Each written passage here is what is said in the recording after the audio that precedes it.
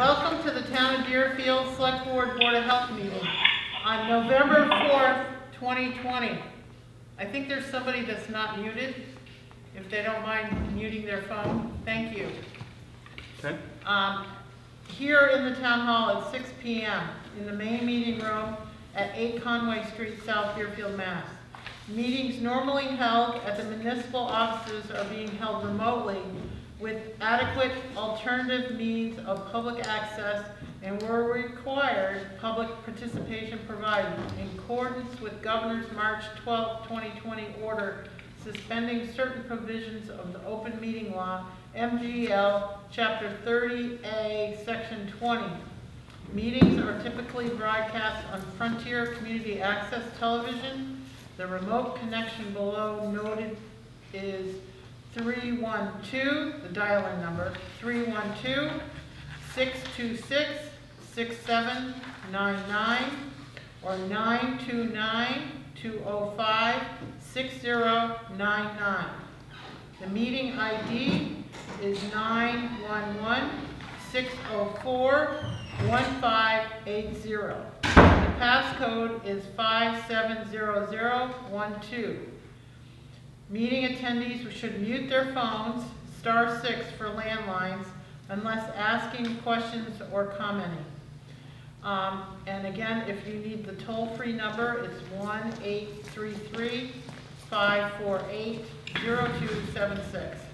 So we're calling the meeting to order, and the first scheduled hearing is the three fiftieth steering committee meet, um, steering committee.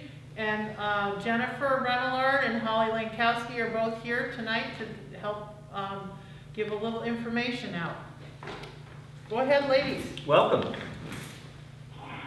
Thank you for having us. Um, my name is Jennifer Remillard.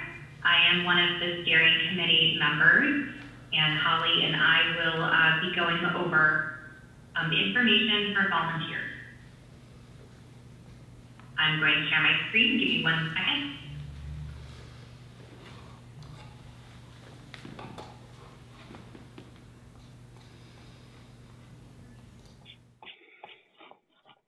Let me know if you can see it. Yep, Okay. thank you. Okay. Uh, Hi, I'm Holly Lankowski. I'm also on the steering committee. Um, I also wanted to let you know other members of the steering committee. Um, we have Peter Thomas, who is um, a great historian, um, and he's uh, doing a lot of work on the history of our town. We have Jay Stryker, who also is interested in the history of our town and the industrial background of the town as well. Um, Jennifer, who just introduced herself. Uh, Carolyn Ness is our select board rep and of course, um, a member of our community. So, um, another great resource for our committee and myself. Um, the steering committee is looking for additional members to complement our group. And, um, as Jennifer said, we are looking for volunteers as we move forward toward our celebration, which will be in 2023, our 350th. Um, as you can see on the slide in front of you, some of the subcommittees um, we're looking to form and have leadership for uh, would be the 5K uh, Family Fun Run, um, agriculture, um, and representing the farms in our community, arts and theater,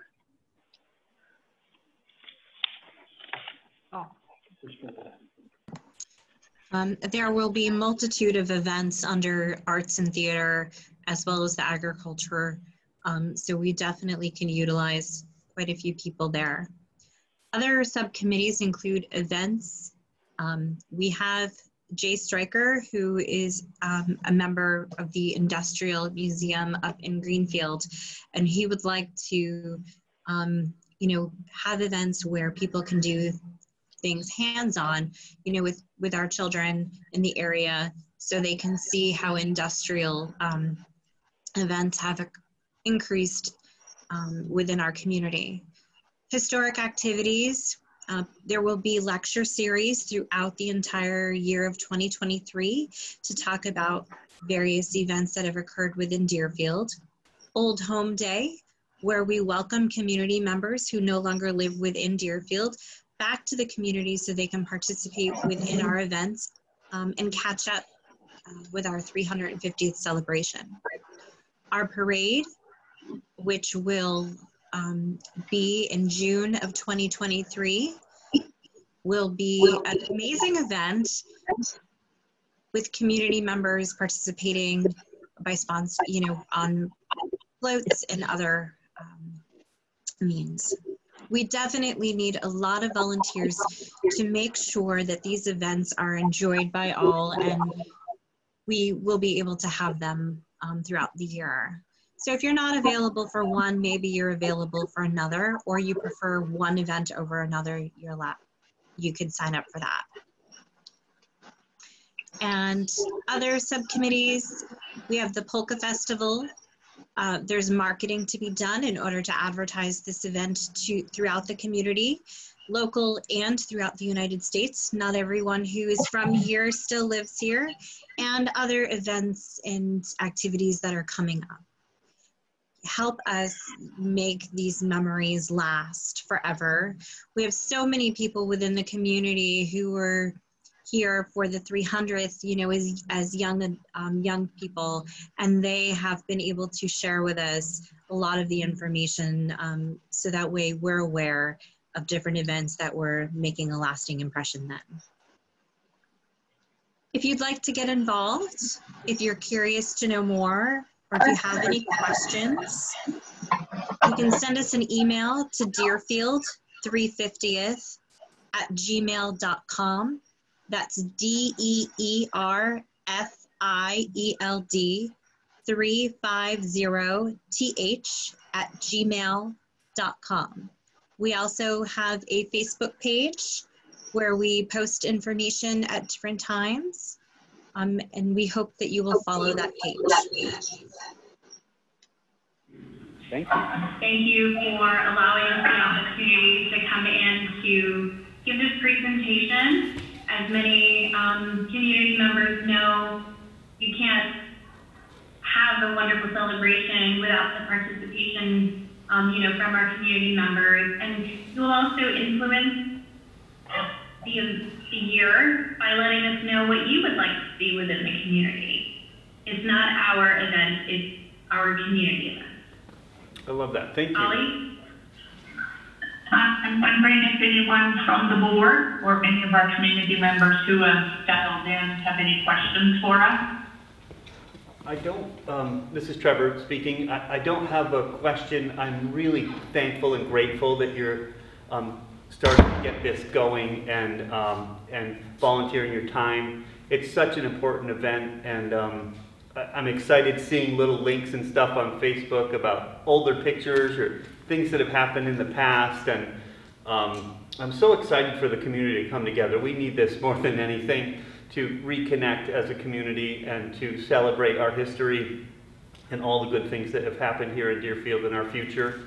So I really appreciate you having enthusiasm and getting people involved, and I love that you're reaching out and getting ideas from people. So I hope people will get involved. I will try to promote as much as I can uh, for people to participate and share their ideas, and I'm, I'm really so excited to, uh, to do something fun for our community.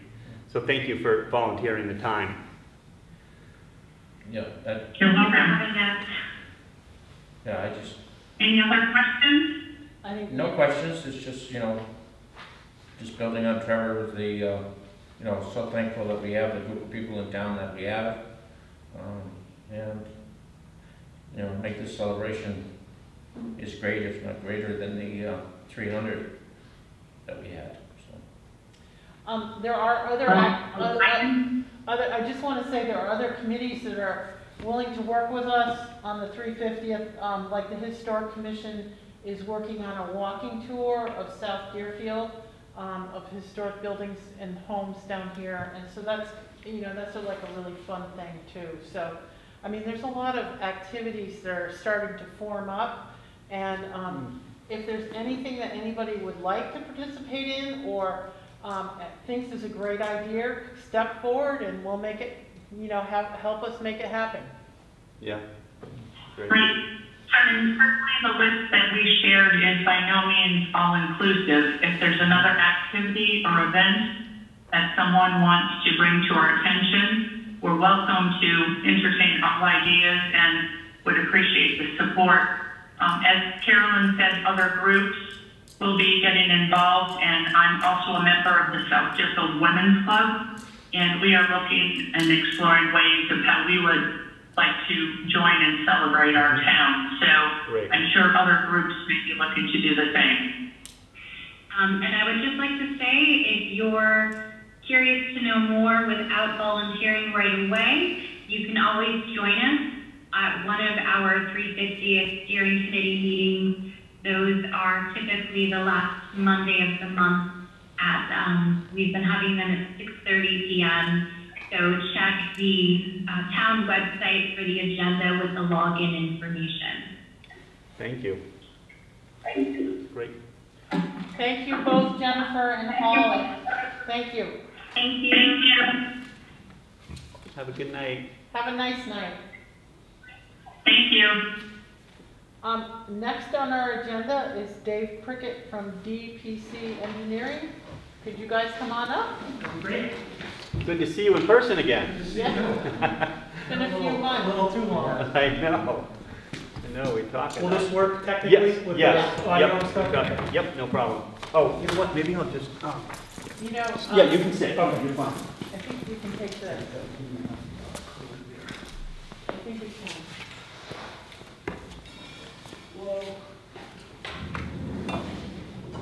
Wanna move this up? No, we got one. Looked like there was about hundred feet back there. Yeah, we got, we got a lot. Quite a few is. Yeah. Oh, actually, Dave, that's enough. That's good, yep, Yeah, we we're did. good. Yeah. Thank you.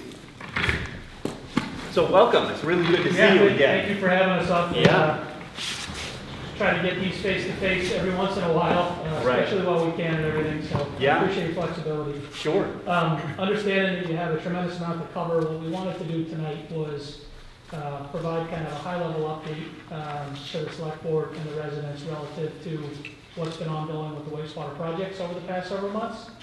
And um, just kind of follow up on some of the staff level, kind of high detail drill down sessions that we've been doing on an ongoing basis uh, relative to things. So I'll, I'll start things off and then Yeah, Trevor sure.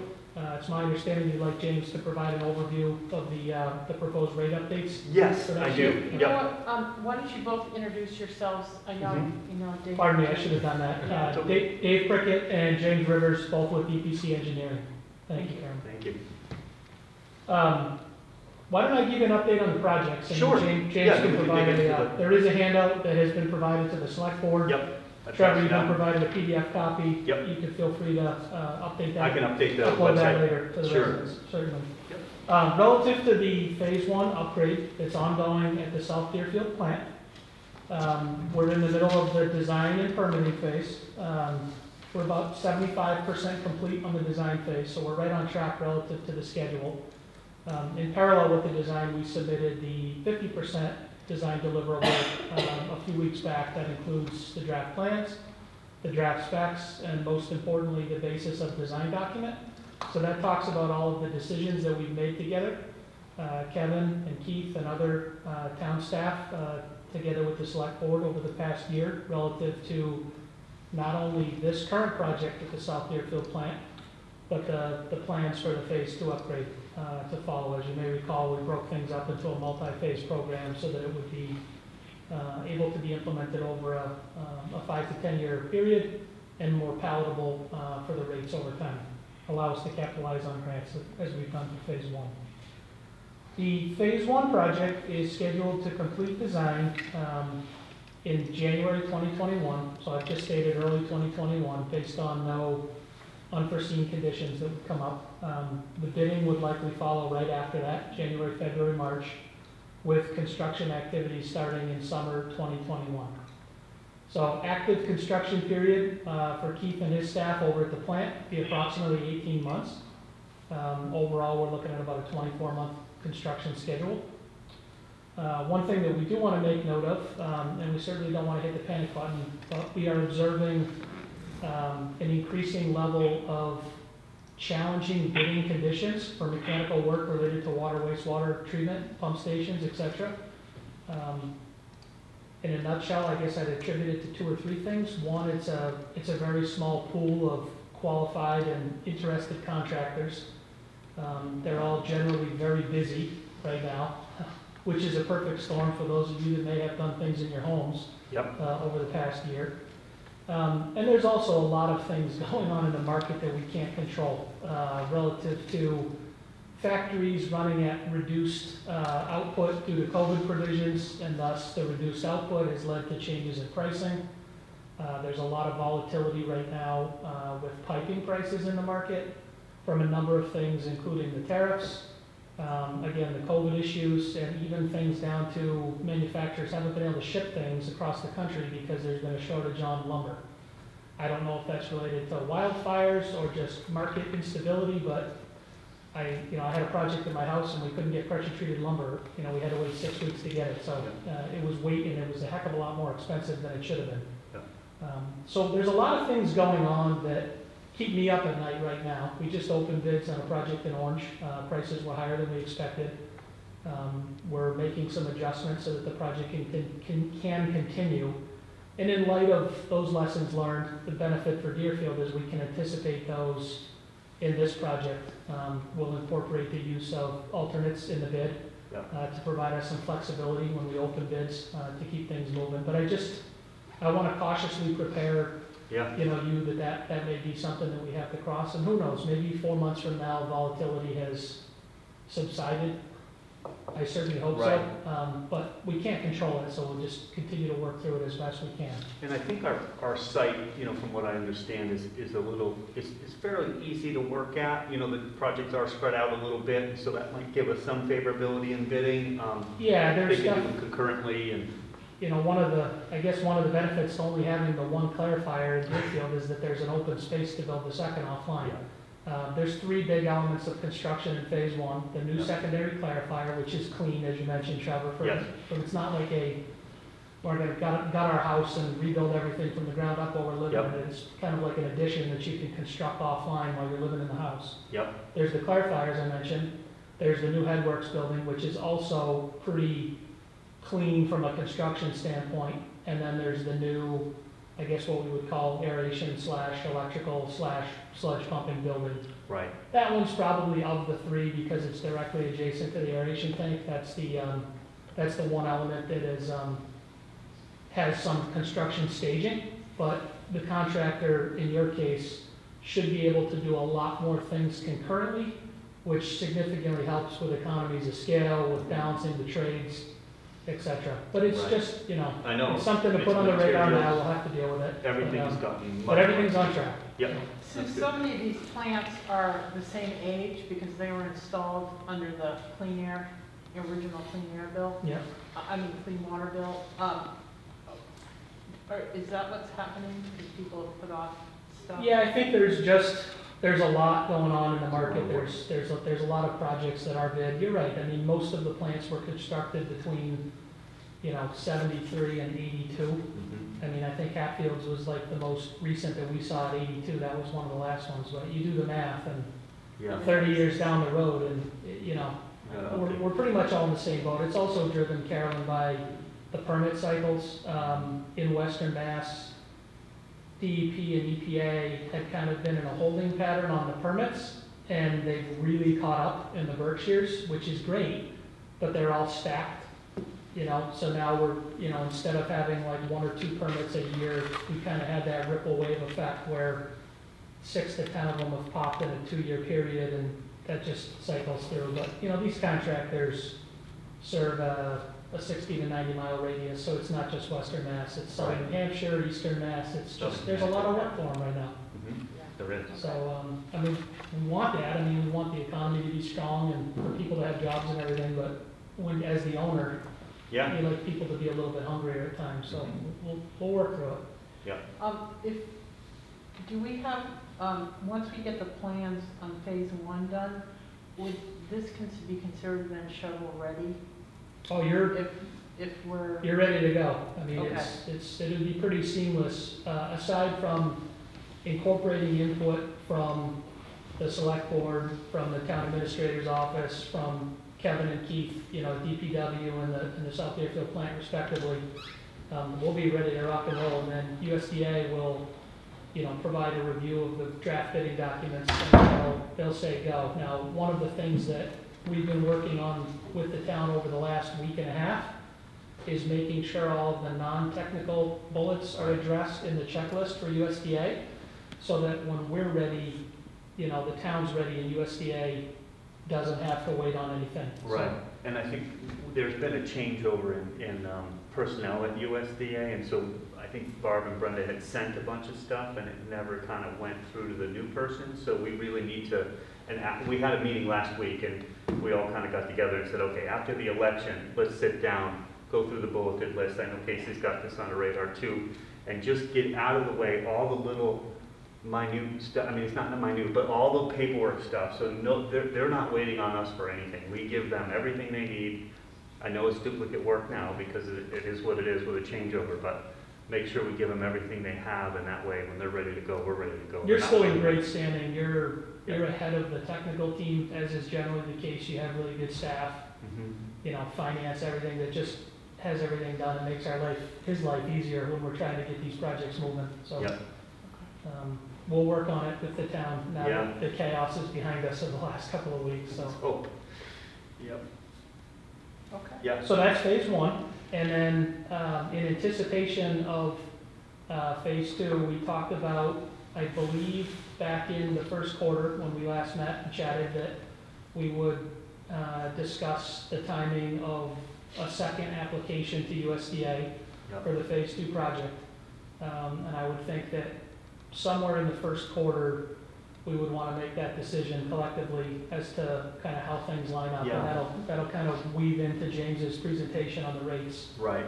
Um, We, during that meeting, it sounded like USDA, USDA would kind of want that application sooner than what we were thinking. We were thinking maybe July or something, like summer we would do it, but it sounds like Yeah, the- for the Nash, for the regular pool, I think on this project, we They kind wanted of it in fell by, they wanted end. it in by March if we were to go. So the give and take is, we want to, we want to be kind of in, like, know our bid's good and be going into construction and then kind of ramp up phase two so that the design of phase two is going concurrently with the phase one construction. right, And then hopefully, um, at least have one contractor that's in our backyard, oh, by the way, we'd like to do a second edition at the house. Then, Yep. You know, hopefully you've got one captive contractor there that's already mobilized.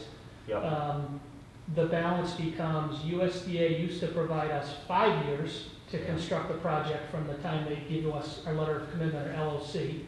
Um, they've tightened that up to three, and I think for good reason, they're trying to make sure that there aren't cost overruns and, you know, that towns have some skin in the game relative to, to moving things along. But what it requires us to do is make that investment in the design phase, so that by the time you get the LOC, you're ready to go, because there's always other delays with construction, whether it be bidding and, yep, I mean, it takes us almost, you know, three to four months to get through pre-qual, sub-bids, general bids. I mean, it's, you know, Takes a you've done this with schools and Yep. everything else. It's a, it's a significant time commitment Right. for the town, but, you know, right now, our focus is, is just cranking out phase one and working with the town to incorporate review comments, Yeah. positioning you for flexibility, that if we do open bids and they're high, we can peel off little pieces that could be moved. They're not, they're shovel ready, to Carolyn's point, they Right. could be deferred to phase two, if we have to, right, so. Well, I was just, I, I wanted to make sure we, were if, if a infrastructure, uh, you know, bill co- goes through Congress, we want to, Right. I mean, we, that's what happened in two thousand eight, we are not able to take advantage of any shovel-ready projects. because- You've done a great job with MVP, and, you know, now you're primed with USDA, and you're always a good candidate for state funding, so I think the town continues to be well-positioned for opportunities because of your proactive investment in planning, and in some cases, design to be shovel-ready. So, um, Yeah. you know, let's, let's get through the holidays, yes, Yeah, let's get this thing ready to go to bid, and then let's have another conversation, um, about how we wanna handle phase two and the timing of the Yeah. next Okay. application. yep, yep. no, that makes sense. Okay, Dave, did you have any questions? No, not yet. Okay. So, um, the collection system, Um, Yeah, just a couple of quick little updates there. Obviously, I'm sure many residents have seen the, the team out there in the town. Yep, Um, we want to provide a special thanks to Kevin and his staff. They've been tremendous with not only helping when, you know, we've each had trouble, um, Yeah. but, but they've been great about cleaning the pipes in advance and, uh, and really allocating the resources. So your DPW's done a phenomenal job. That's great to uh, hear. Facilitating the project. Good team. Um, but that should be wrapped, we had hoped to wrap that up this fall, um, based on a lot of the pipes being in rough shape, both physically and with debris.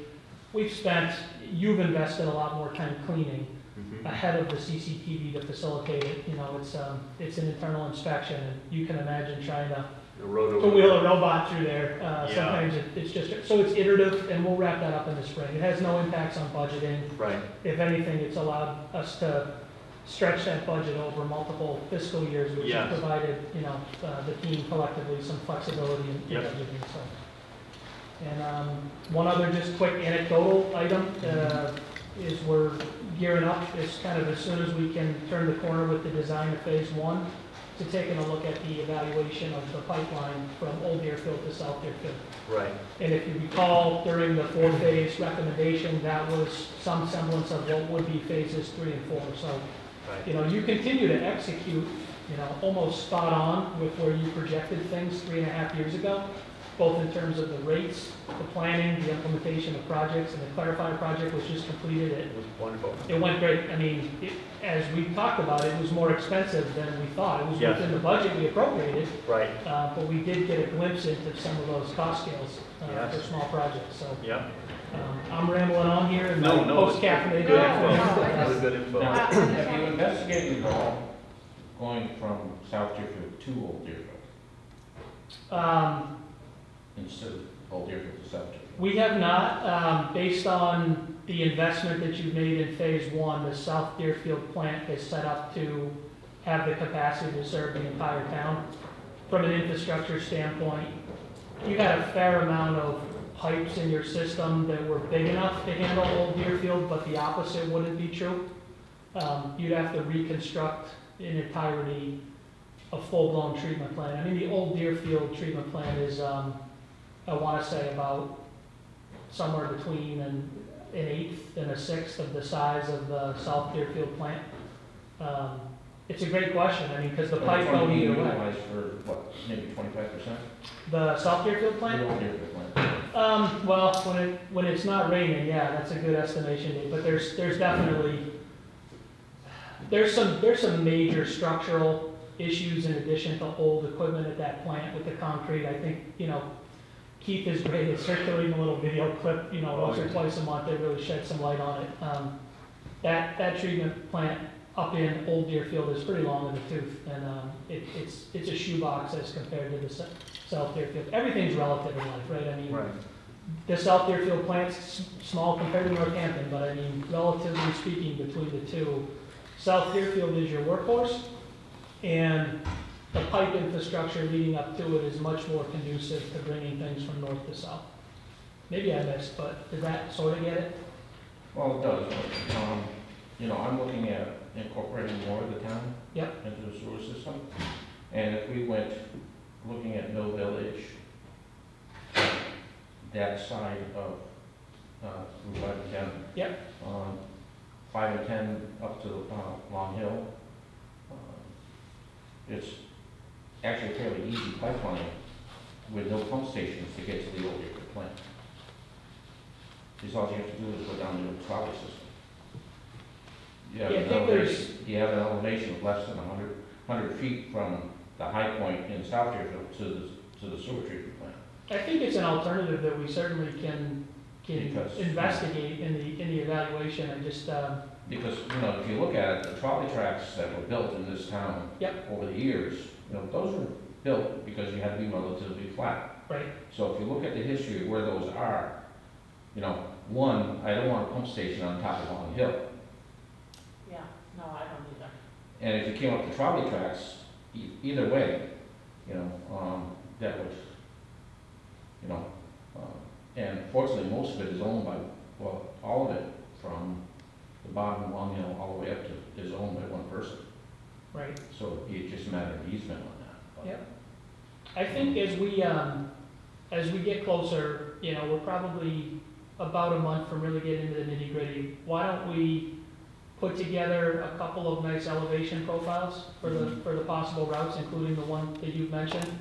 And sit down together, um, with a couple arrows going in either direction and evaluate it. I think having constructed sewers in Hatfield, obviously my sensitivity is that constructing anything deeper than ten feet, given the soil conditions in this area, is really, really challenging from a dewatering standpoint. You get right to the bottom of that six foot of sand, and then you get that marine clay layer, I mean, you poke a boring hole in the ground, you think you hit a water main. I mean, it's, Yeah.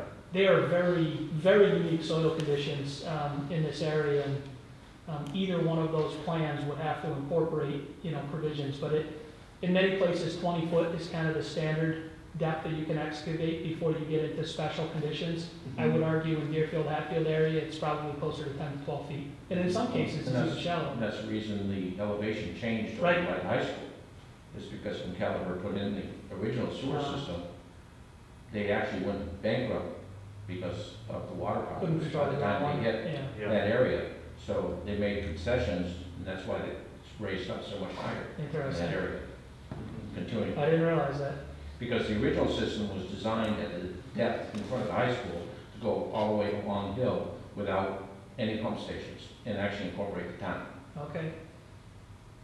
This sounds like a good infrastructure segment on your three hundred fiftieth anniversary. Yes, exactly. So, So, Well, Kevin? unfortunately, you know, coming from a construction family, oh you yeah, know, and Kevin, did you have any comments that you wanted to make on this? No, no, we're good. Um, everything seems to be going, uh, very smoothly, I think. You know, Mike, uh, uh, from DPC, the, the camera guy, uh, great guy, um, super easy to work with.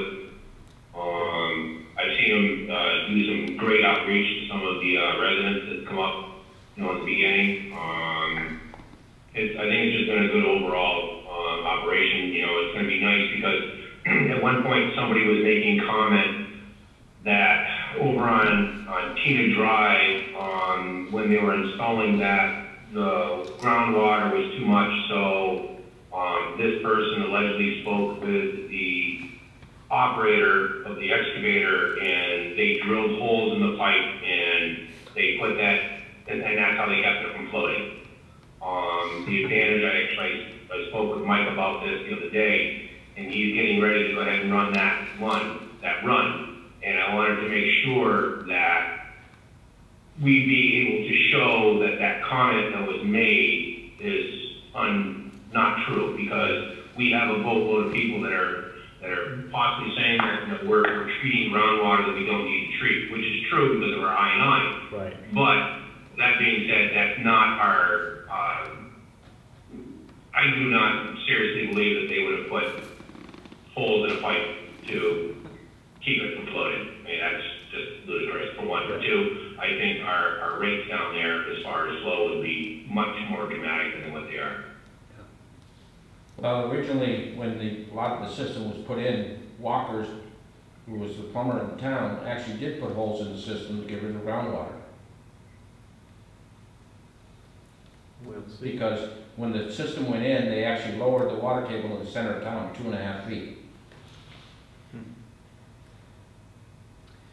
Glad we got a camera. we've seen some crazy things over here, so I'm not Yeah, looking ahead. right. You never know what you'll find make out. for some good pictures though. and- Yeah, and, yeah, I've seen a few. Mike sent us some, some interesting photos from Deerfield thus far. Oh, yeah. We- Coffee cans, We have some, uh, liter bottles. skeletons in the closet in the, in the pipe system. I don't think it would become as a surprise to you. No but- joke. Well, there's a lot of Jugs. Yeah. Yeah. It's a, uh, it's a marathon, you know, it's, you, you sit back and you look at each individual tree and the forest is overwhelming, but you can pick away at them, you know, one by one over time and, and, and make a dent in things. Well, it's like the house right next door here. It's got a sub-cellar to below the regular cellar for, s- for alcohol during prohibition. And they had to put special drains in out to the brook, to make sure it stayed dry. Interesting. It's a speakeasy. Well, that's a whole, that's a whole nother topic, the full monitoring adjacent to town hall. We'll come back to that some, other- some other time. Um, Part of the three fiftieth. Yeah, so segueing into the uh, sewer rates, obviously, you know, we, uh, we had discussed it. Oh, there a question? Trevor? Yes. Yeah, Trevor, this is Chris Harris. Hey, Chris, how are you? Um, Good, doing very well, thanks. Just very quickly though, because there was talk about the old Deerfield wastewater treatment plant situation, integrating it, potentially integrating it with South Deerfield, et cetera. But, but I don't understand, what, is there an actual plan in place for assessing that plant and all the options and what's the timeline for that evaluation, or maybe it's Yes. already been just done? starting. Yes, or so- what have you. It's, it's, it's like, it's like the elephant in the room. Well- It's another fifteen million dollar project Yes. probably, and it's not clear to us what's going on. Yeah, so it's not completely clear to all of us yet. So what we did was we did an asset management plan, so we have assessed the buildings, uh, you know, the, the infrastructure there. Um, and, and you're right, we do have a, a- I think a fifty, roughly fifty million dollar or something, you know, maybe even, you know, bigger than that, depends on how the bids come in. But yes, it's a large, another large expense uh, to either remodel that place and, and upgrade everything, or to look at maybe, um, decommissioning that plant and pumping it here. So really what's going to happen shortly is that we'll, uh, there's been several, several um, evaluations of that plant, uh, one by the town and one by others. And the plan is to have a further evaluation of what would the feasibility be to decommission the plant and, and pump that to, to our facility down in West, down in uh, South Deerfield. So that, that study hasn't been done yet to see if it's, if it's worth investing that, uh, spending that money up front, but, but losing that, um, that expense and operations over many, many years that we keep the other plant going. And then, um, could we, could we tie in other development if we do something like that, bring a pipe down, down to South Deerfield, will we pick up other, other opportunities for development? Um, so all of that still needs to be looked at. Um, so we have an initial kind of rough budget if we were gonna rebuild that plant. Um, and then the other idea is to kind of take a really hard look is, do we really wanna update that plant? Or do we wanna decommission it and bring it here? Or, or another idea, so, but that, that's still yet to be worked out. So we focused, we decided, originally, Chris, when we had started this whole sewer project, we were gonna do, um, phase one at South Deerfield, go up and do a phase two at Old Deerfield, come back and finish up South Deerfield, and then go back and finish up Old Deerfield. And we did a course correction a couple years ago and felt like, you know what, this is our workhorse, let's fix up South Deerfield first, so do phase one and two there. Meanwhile, study what, really what we want to do at, at Old Deerfield. And maybe we do decide to go up and rebuild all of that, or we decide, you know what, for about the same amount of money, and we could stop the bleeding, let's pump it down to this plant, because this plant, after we get done with phase one and two at the South Deerfield plant, we'll be able to handle the inflow if we do that. So that's kind of the, the blueprint we're working on right now. Um, so we'll have more information, there, I think, there, later on. but is there, a- is there a timetable for doing that study? Yes. In parallel to what you're doing in South Deerfield? Yeah, that, Because, yes, you that's, these things take a lot of time. that And study is so- getting underway right, you know, within the next couple months. I would say our goal would be to try to wrap that up, including public input by the end of March. Yeah, I mean, by the end of we'll See March. what happens this winter, the Mhm. things we can't control, but. Right, with the weather and stuff, but Yeah. yeah, yeah, we're, we're starting on that right away. Okay, Yeah. great. Sure. Because we don't need more surprises, because all this stuff is time-based capital spending. Yeah, it is. Yeah. big investment, yeah. So we, what we secured was money for phase one and phase two, and, um, you know, utilizing that grant, and, you know, based on the bid environment right now, we're hoping that that may cover it, it may not. You know, we may find other things as we go through this engineering of phase one and two that, that we want to do more of at that plant, or, you know, the bids are just higher, we have to cut back some things, or all of that's gonna get worked out, you know, over the next year. We also don't know what the grant opportunities are gonna be going forward, so, Mhm. um, you know, we're hoping that it'll be more productive. Yeah. I know, it's been no Thank you. Thank you, Chris. So, um, moving into the, the rates for, um, for the following year, you know, that we had planned last town meeting when we had, um, well, when we had passed this, this project and we had kind of costed out for the residents about where we were gonna be at for rate increases to pay for this project. Um, we knew that this, this coming rate, FY twenty-two, um, was going to be, you know, probably one of the largest jumps that we were gonna tackle. We ramped up a little bit as we got to starting the projects and the design work, but, um, I think, you know, next, based on, I guess I'll have, uh Jim, uh, James give us an update on that, but I think that's about where we'll be at. I think relative to the rate, sometimes it's best to try to take that backwards and give you a conclusion and then tell you how we got to that point. But Mm-hmm. it is a bit of a self-fulfilling prophecy in that you made the investment in phase one and in this collection system CMOM program. So this is where the rubber meets the road. So basically, the, the debt, you- you're starting to carry the debt service for the upgrade Yep. in your proposed FY twenty-two rate. And I'll just preface what James is gonna get into in a little bit more detail by saying, three years ago, when you started this endeavor and you planned things out with input from all of the town staff and the, you know, the board and the, the residential parties, et cetera, you anticipated that you would be at a sewer rate that averaged ninety-three dollars per per household, per month, when you got to FY twenty-two. And we're projecting based on where we're at right now, you, we're, we're recommending that you set it at ninety-four. So you're within a dollar of what you anticipated. So I mean, you, the select board, and the town staff have really done a tremendous job staying on, on point relative to that plan you said, capitalizing on the grant, capitalizing on the low interest rates that you have right now, Mm-hmm. and, and moving the ball. I mean, this is the gold standard relative to the communities we work with in terms of keeping pace, so kudos to you guys. So James will tell you how we got to that point. Okay, Great, yeah, so I'll just give a, a quick recap on the details of how we arrived at the ninety-four dollars per house per month on average. Um, so we presented a, a table and a set of figures, uh, to the board, um, a few days ago, so we're gonna start with table one. Um, in this table, we have a comparison of your current wastewater budget, so that's fiscal year, James, do you have, do you have a, a screen share for? you know what, I might be, if you bear with me, or if you keep talking, I'll see if I can Okay. bring this, I can bring this up if I It can. hasn't changed since the email, Trevor. Right, yep, I'll see if I can sign on here and mute. Yeah, I, it's just, it would be, oh, absolutely. yeah, I, I, I mean, it's hard for people to follow. So while Trevor's looking at that, why don't you just explain what the current FY twenty-one sewer rate structure is, both the fixed fee and the fixed rate? Okay, um, so the, the current rate structure, uh, as a quick recap, and we're not proposing any changes to the rate structure, we're actually only proposing, proposing a change to a part of the rate. There we go. little feedback.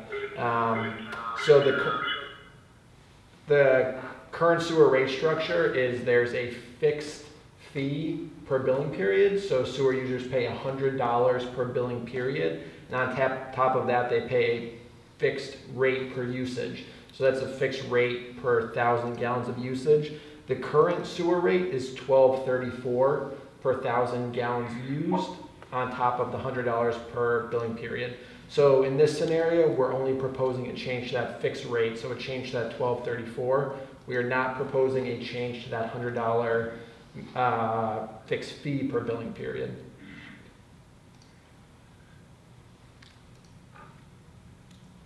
It's always an easy.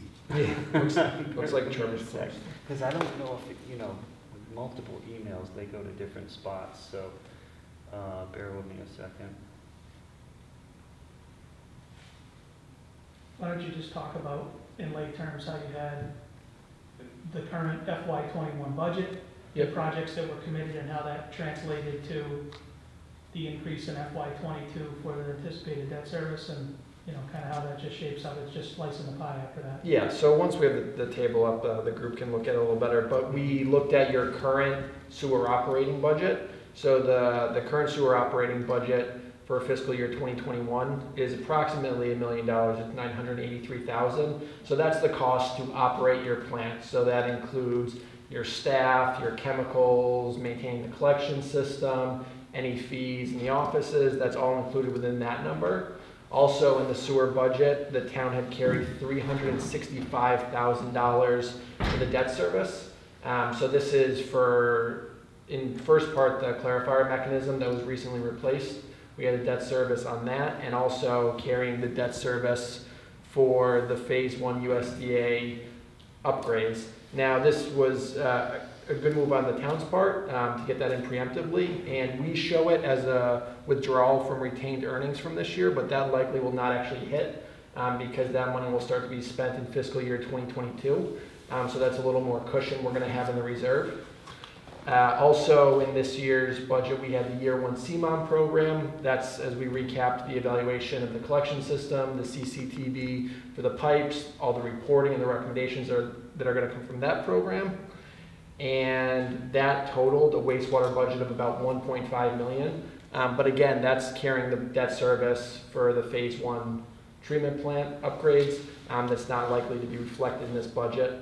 Um, so we are anticipating that retained earnings will be approximately the same at the end of this year. Uh, the certified retained earning balance, um, if you move down to the line, it's got the little footnote four on it for Mhm. fiscal year 2020. That was about 1.325 million, and that was a slight increase from the previous year. So we've done a good job of kind of budgeting where we need to be at and almost matching with a little cushion uh, to put in that reserve. Yeah, Um, So right now, we've got about one year's reserve in budget, which is, is our goal to float around that number. Um, So the town's done a great job of, of hitting that target each year.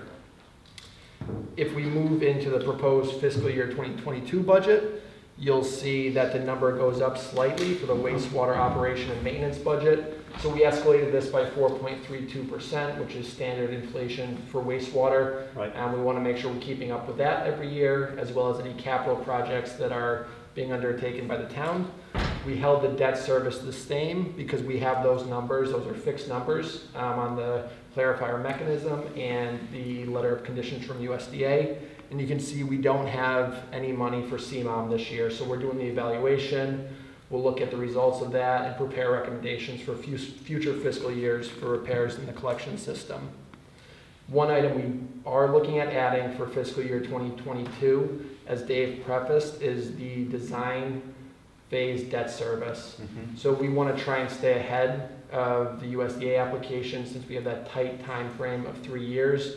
So if we advance the design that allows us to be shovel-ready when we get the letter of conditions from USDA, knock on wood, we can put it out to bid and hopefully get some good numbers that come back.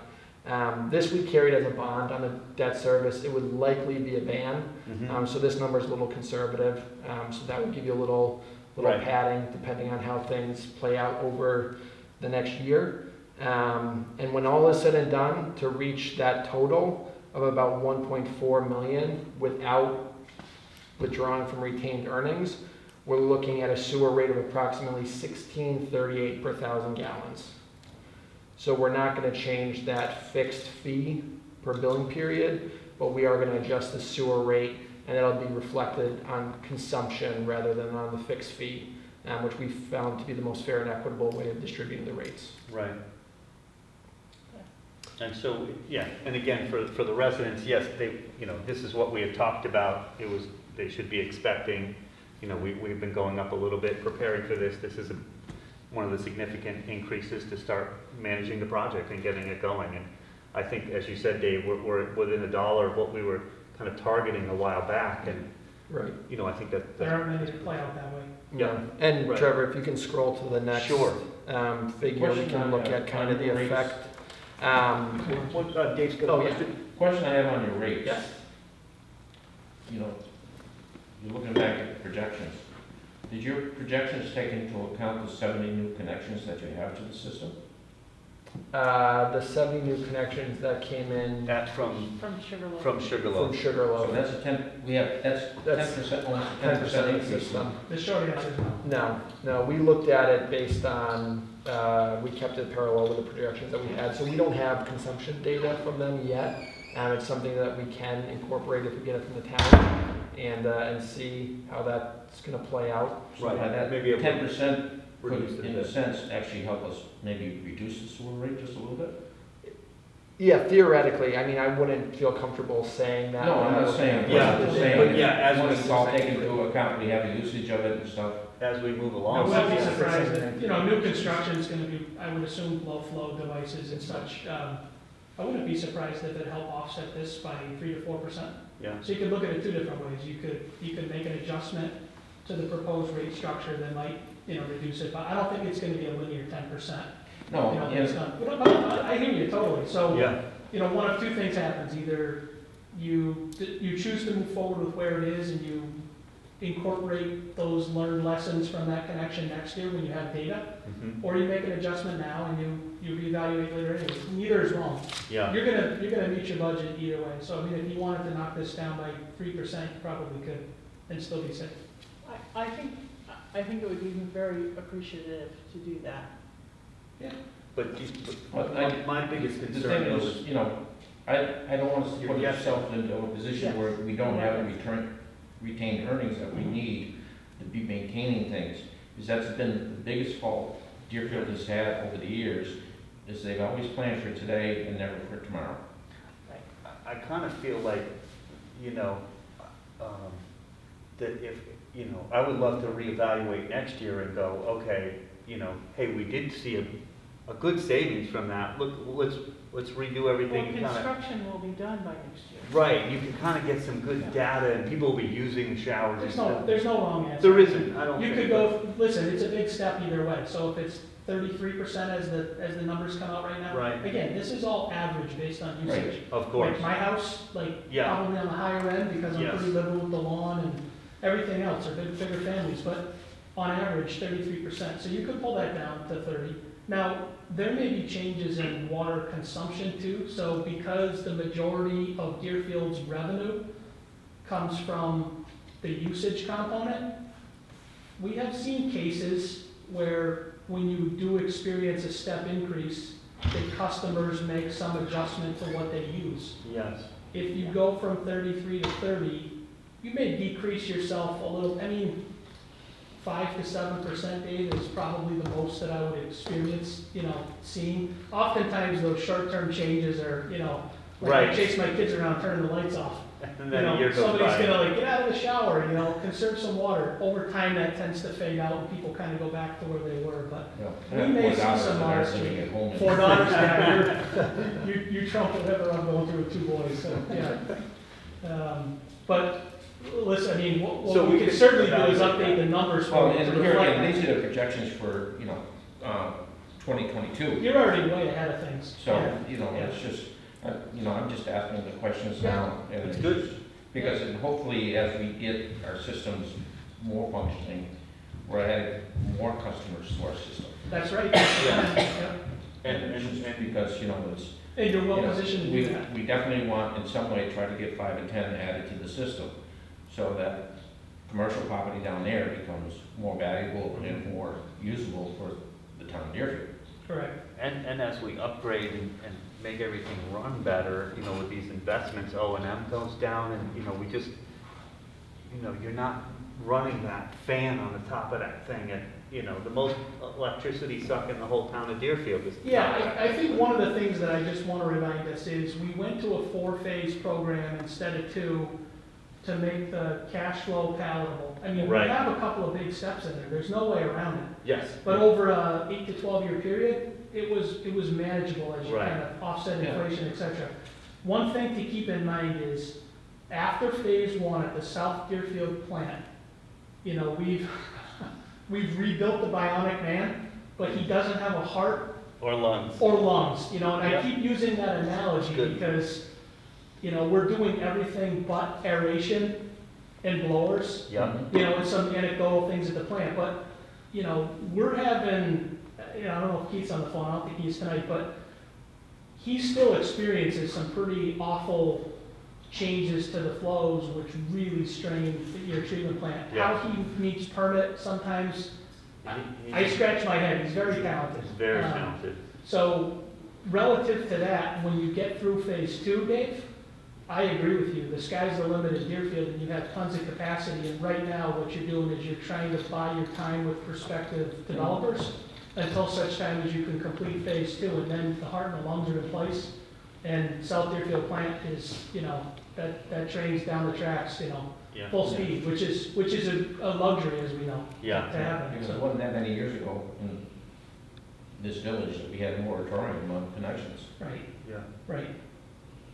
Which really stifled Yep. things for us. yeah. So as your, as your wastewater advisor, I'd love to see those big connections not really become real in terms of wastewater down the, down the drain and, you know, a couple, two, ye- three years up. It's up to you to decide, and we said we'd come back after the first of the year to talk about phase two. yeah, That'll be a decision you make. Do we, do we overlap one and two by doing construction and design in Mhm. parallel? So that, you know, construction becomes pretty continuous? yeah, I think that that makes sense, but I that's do. up to you and the residents to decide. yeah, what we can handle. You handle. know, if that twelve-year plan becomes eight, it just means the second step comes a little sooner. Right. Okay. So that second page, I guess is really just kind of zeroing in on that. Yeah, this is just a figure to illustrate uh, where we're looking at uh, the increases coming and how they're going to affect the average residential sewer user. So based on your current sewer rate, the average annual residential sewer customer is paying about $903 per year. Uh, Back at the annual town meeting, when we presented the Phase 1 and 2 South Deerfield upgrade to the town, um, and appropriated that money, we projected we would be about $1,116 in fiscal year 2022, and now we're at about $1,133. So you can see we're kind of right where we thought we would be. Um, and then the, the figure on the next page just breaks that down on a monthly basis. As you can see, right now it's about $75 per month. We projected at the annual town meeting we'd be at about 93. Now we're looking at being at about 94. Um, so again, we're right in line and we've really, you know, stayed the course as to where we thought we would be and, uh, you know, hope to be at this point, um, moving through these projects. I wish my Comcast bill was only hundred and thirty. Oh, I know, I know, yeah, I'd sign up for that plan right now. Yeah, Yep. Okay, so I'll stop my share here. All right. Great. Well, uh, thank you very much. I really, you know, it's great to, I know we have another, um, kind of get together where we'll do. we're gonna have a daytime workshop with Yeah, staff, and in depth, anybody's yeah. welcome to come attend, we'd love to have you. Yeah, Um, but get in, in depth. I went through all these. Um, Yeah, I put you to sleep, It sure. did, yeah. Yeah. I read this, um, but That's the most, that's the most important piece. yeah, this. I didn't get into yet. No, the spec is, you know, nice paperweight for, Yep. uh, you know, holding things down on your desk when it gets windy, but, um, Yep, the basis of design report is really the meat data. That's, that's where we make all the decisions, and then after that, it's just executing the plan. right. No, it looks, it looks really good. I, I had a few questions on the plan, but we'll do that when we meet. So, uh, yeah, Thank you. yeah, thank Aaron, you. Yeah, let us know appreciate what that. works for you. and we'll Everybody stay work together. safe. Okay. Thank you so much for coming in. Yeah, really appreciate it. Oh, thank you. Yeah, that's perfect. Thank you. It's great to see you, Dave. Thanks, James. Thank, thank you both Yep. for coming. Take care. Trevor? Yes, Trevor? yes. What's the sewer rate?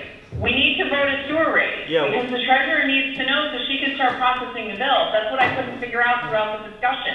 This wasn't a discussion. What are we discussion. voting for a sewer rate? You're jumping the gun, Casey. For FY twenty-one? You're jumping the gun. We haven't done that yet with them. We wanted to hear from them first. So now we're gonna have a discussion. I don't know if you can hear that, but, Which Um, is further down in the agenda. right. It's further down on the agenda. Oh, well, it's muted. Trevor's muted. Okay, I am on my computer, yes, but this is not Okay. muted. all right. So let's jump down to the sewer rates so we can discuss that. Well, we have Uh, we got a couple. scheduled hearing at seven. Right. but Yeah. We got a couple minutes I'm here. hearing. It's, it's, We can hear you. yeah, no, it's just. I couldn't hear what you just said. Okay, so we were, we were, uh, we I'll had to talk hear, to you in a minute. come on out. Thank you.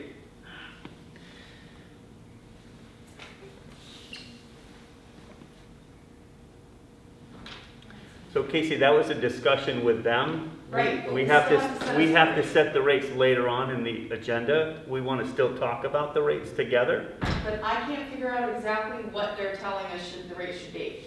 It's I right here, sixteen point three eight, or we can drop it a little bit. Well, that's, so, That was. I thought you were gonna have that discussion with them and take a vote then. No, I'm not gonna take a vote with them here, I'm gonna take a vote with our board here. Later on, we have a, we have a hearing at seven. No. It's not a hearing, actually. It's Oh. just a It's show up. Elaine's coming to present the Stillwater Road Conservation Okay. Restriction proposal. Gotcha. Okay, is, um, Alan on the, Elaine, Elaine, I mean, excuse me, Elaine, is she on? Um, Here yet. Okay. I Okay. don't see her yet. Hi, I am here. There she is. Oh, oh, hi. Hi there. Hi, Wayne. Hi, everyone. Hi. Why don't you introduce? Um, so I believe, yeah, introduce myself? Yes, please. Yes, please, and then give us a little background for people that are watching. So my name is Elaine Peteroy, and I'm the Director of Land Conservation at the Franklin Land Trust. And I, um, Franklin Land Trust has been asked to accept a gift of land, uh, 12.8 acres, um, right at the corner of, on Stillwater Road, across from Stillwater Bridge, um, from New England Power Company as part of a mitigation project. And, um, part of this project is to, well, that the, the goal, goal is to permanently conserve this property. And I did send a summary that kind of goes into a little bit more of the details, but we are here to, um, talk to the town about, um, if they would consider holding a conservation restriction over the property in order to make it, uh, permanently conserved and satisfy the requirements of permanently conserving the twelve acres. Um, so I'm not sure if, um, Casey, maybe you could share the maps, or everybody has the maps. Um, It's in the watershed, it's in the. land, Yeah, it's in the watershed. Casey, if you can put up the map so the people I can can do see it's in the again. watershed for Old Deerfield Water District. I got it, Casey. so it is in, it, yeah, it is in the watershed, it sits right next to land owned by, um, the Deerfield Fire District, and it has two, it has several, you know, water, um, old wells on it, which I believe right now are not active, but it is part of a, it sits right on top of a, an aquifer. So there you can Oh, somebody's not. You can see that right there. So the red property, but it's being offered um, to Franklin Land Trust, and what we are asking the town of Deerfield, acting through its conservation commission, to hold a restriction on top of this land. The um, power company has done management, um, invasive species management on it, and also installed two gates. If people are familiar with the property, there's a gate on the western side of the um, property, and that then also goes back into the Deerfield Fire District land, and then a gate, another entrance that comes out more on the eastern side. And the, um, the fire district folks already have a key to this.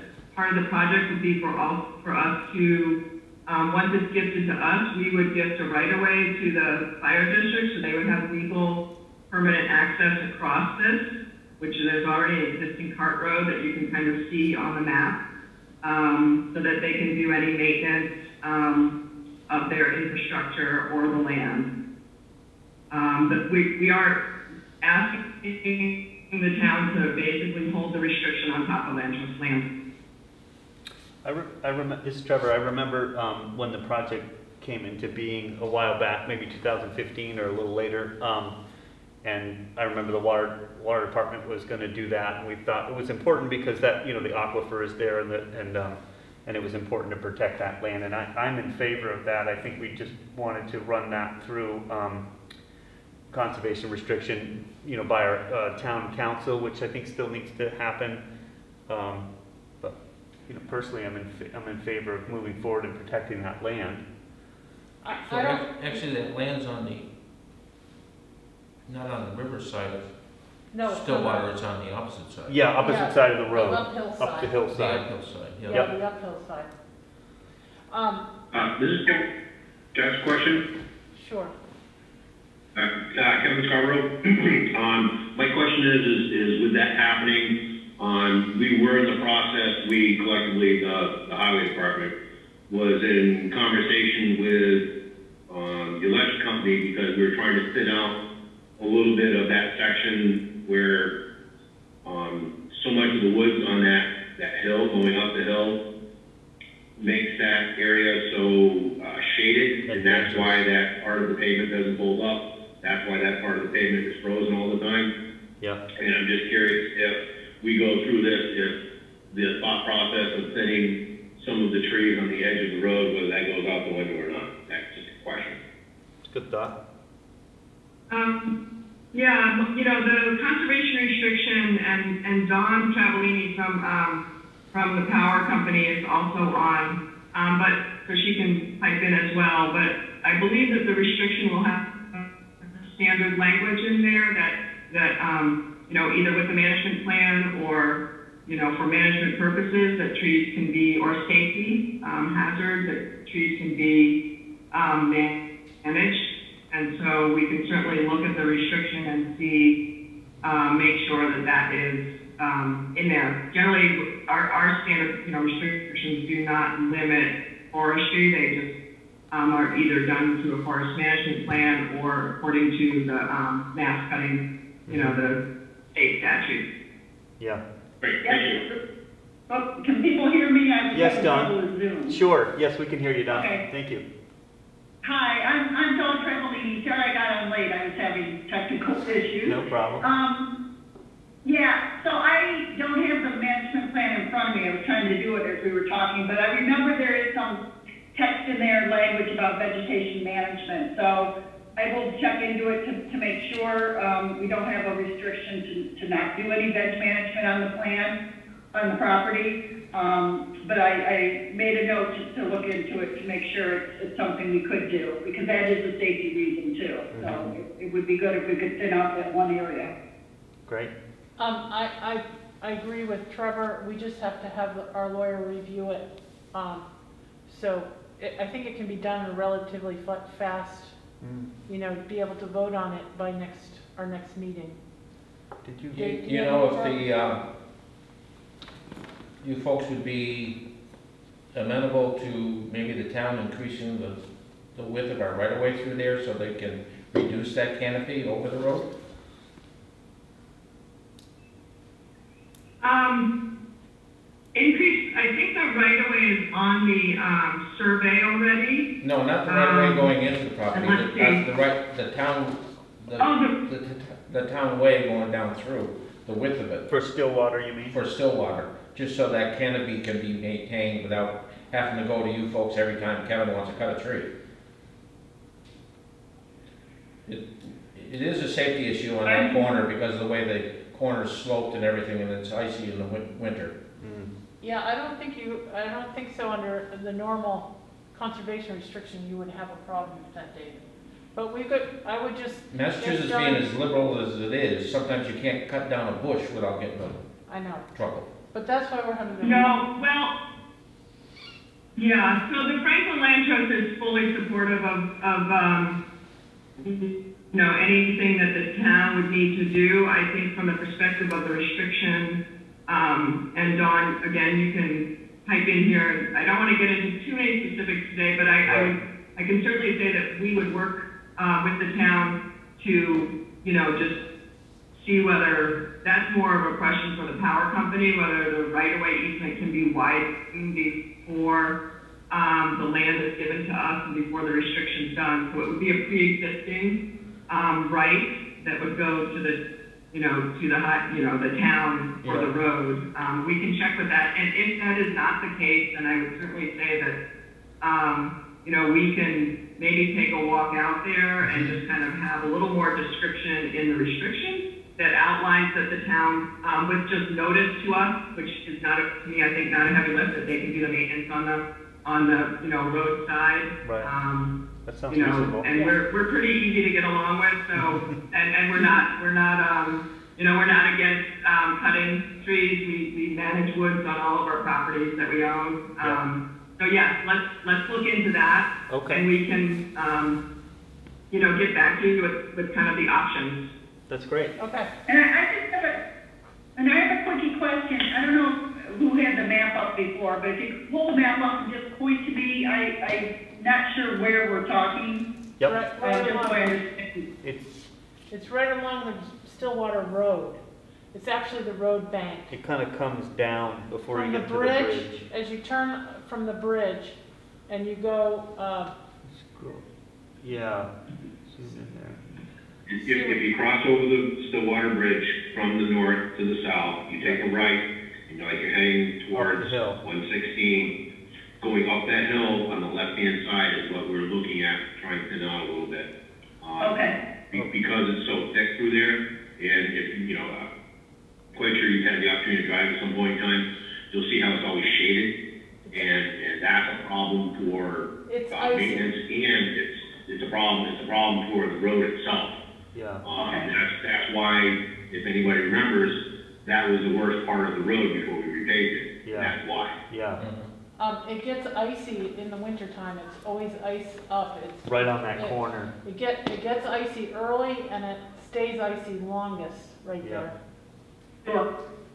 Okay, Great. no, that, that helps, thank you. Thank you. I wanted to make sure I was on the right page. Sure. everyone. Great. Okay, All right. so That sounds good. you'll, you'll get back, we'll get back to our lawyer and, and get this sorted out for our next meeting on the eighteenth, okay? Yeah, and we'll, we will give you, I'll, um, Carolyn, I'll send the board and Casey kind of an outline of the next steps. So there's some process with this. Um, and part of it that Casey was just checking in about is just, um, normally these projects where it's a conservation restriction, um, the state normally has this where it's, it's given, it's being, um, given to the town acting through its conservation commission. That just is the language that they do. Um, so we can just check on all of that, and I'm sure the town counsel will probably be familiar with it. So we'll send you next steps. I know you guys have a busy meeting, so, Yeah, thank you. Okay, Thank you thank so you. much. Thanks for joining us tonight. Yep, okay. Thank you for your time. Thank you very Thank much. you. thank Thank you. you, bye-bye. Bye. Bye. Okay, moving on, um, we have select board announcements and reports. Um, just a couple agenda items I wanted to, um, bring up quickly is, um, I, cybersecurity, I, I've taken a couple more workshops and we really, oh God, I hate this stuff, but it's so important, we've gotta do It is. thing, some things. And, um, I know Casey is just out straight, Yeah. so this last workshop I did, we have to do, you know, we need to do some triage, we need to have a response, start a response plan if we're hacked and stuff like that. So, um, I, I just wanna do a small tabletop, and I think what I would like to do is reach out to the police department. Adam Sokolowski is, Mhm. um, very, um.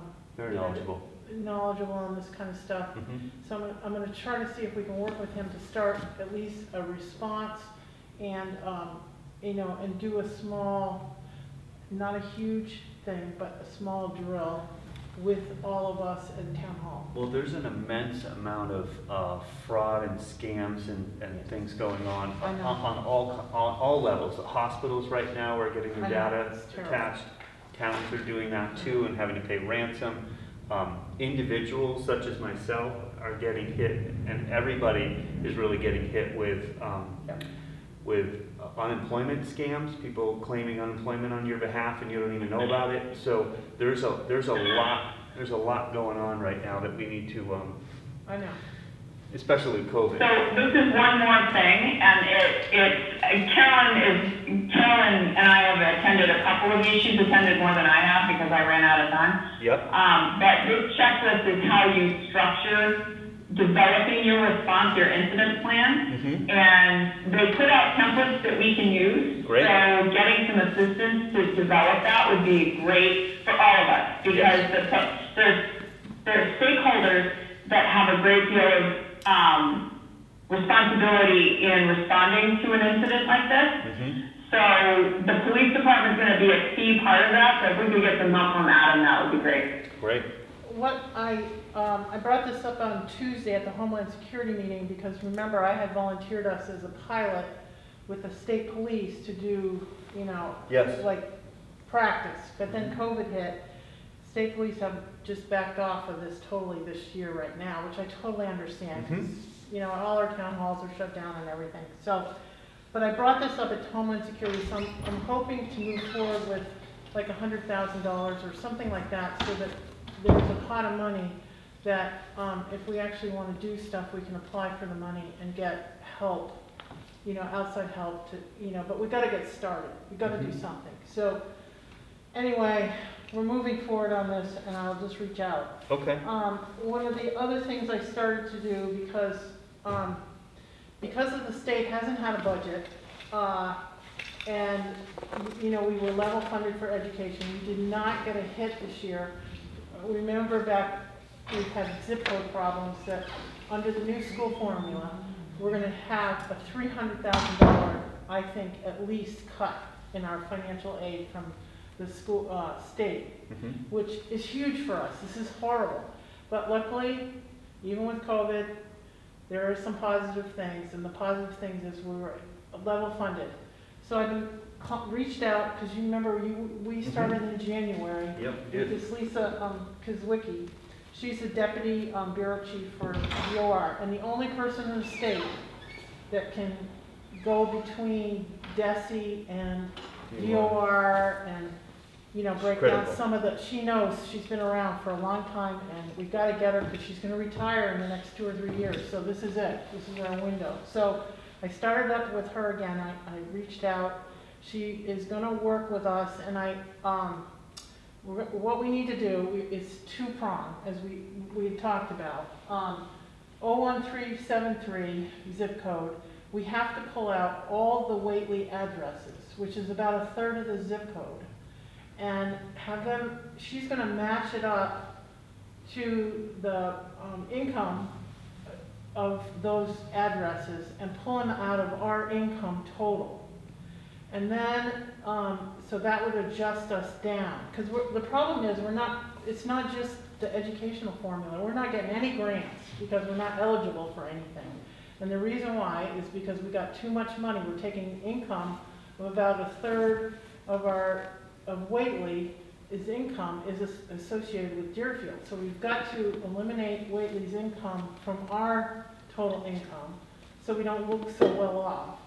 Then, in the, I gotta reach out to John Cordier, because we have to go through property by property, but in Old Deerfield, we have one of the highest wealth factors of a three hundred and fifty community, three hundred and fifty-one communities, we're number fourteen zip code for wealth, because we have all the nonprofits that are paying higher salaries and, but then they don't pay taxes. So, you know, the property tax isn't, is not reflected back to the Mhm. community. So, we gotta get some kind of waiver on that, so that our total Deerfield combined income towards assessed value, because it's huge assessed values and all that kind of stuff, because I have to work with John Vernier on that. Mhm. And before John decides not to do assessors, because he, again, he has a huge knowledge, um, He does. uh, wealth of knowledge over the years. So we've got to get the system fixed, and, and we've got to do it in the next few months.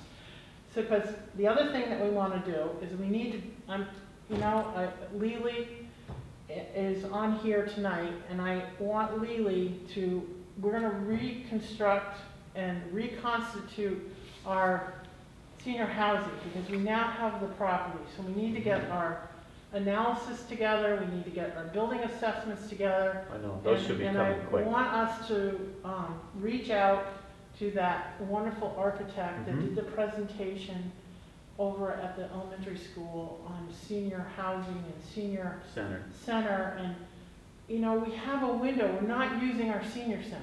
It's, Mm-hmm. it's not safe, so it's shut down. So let's decide, are we gonna renovate it, or are we gonna rip it down?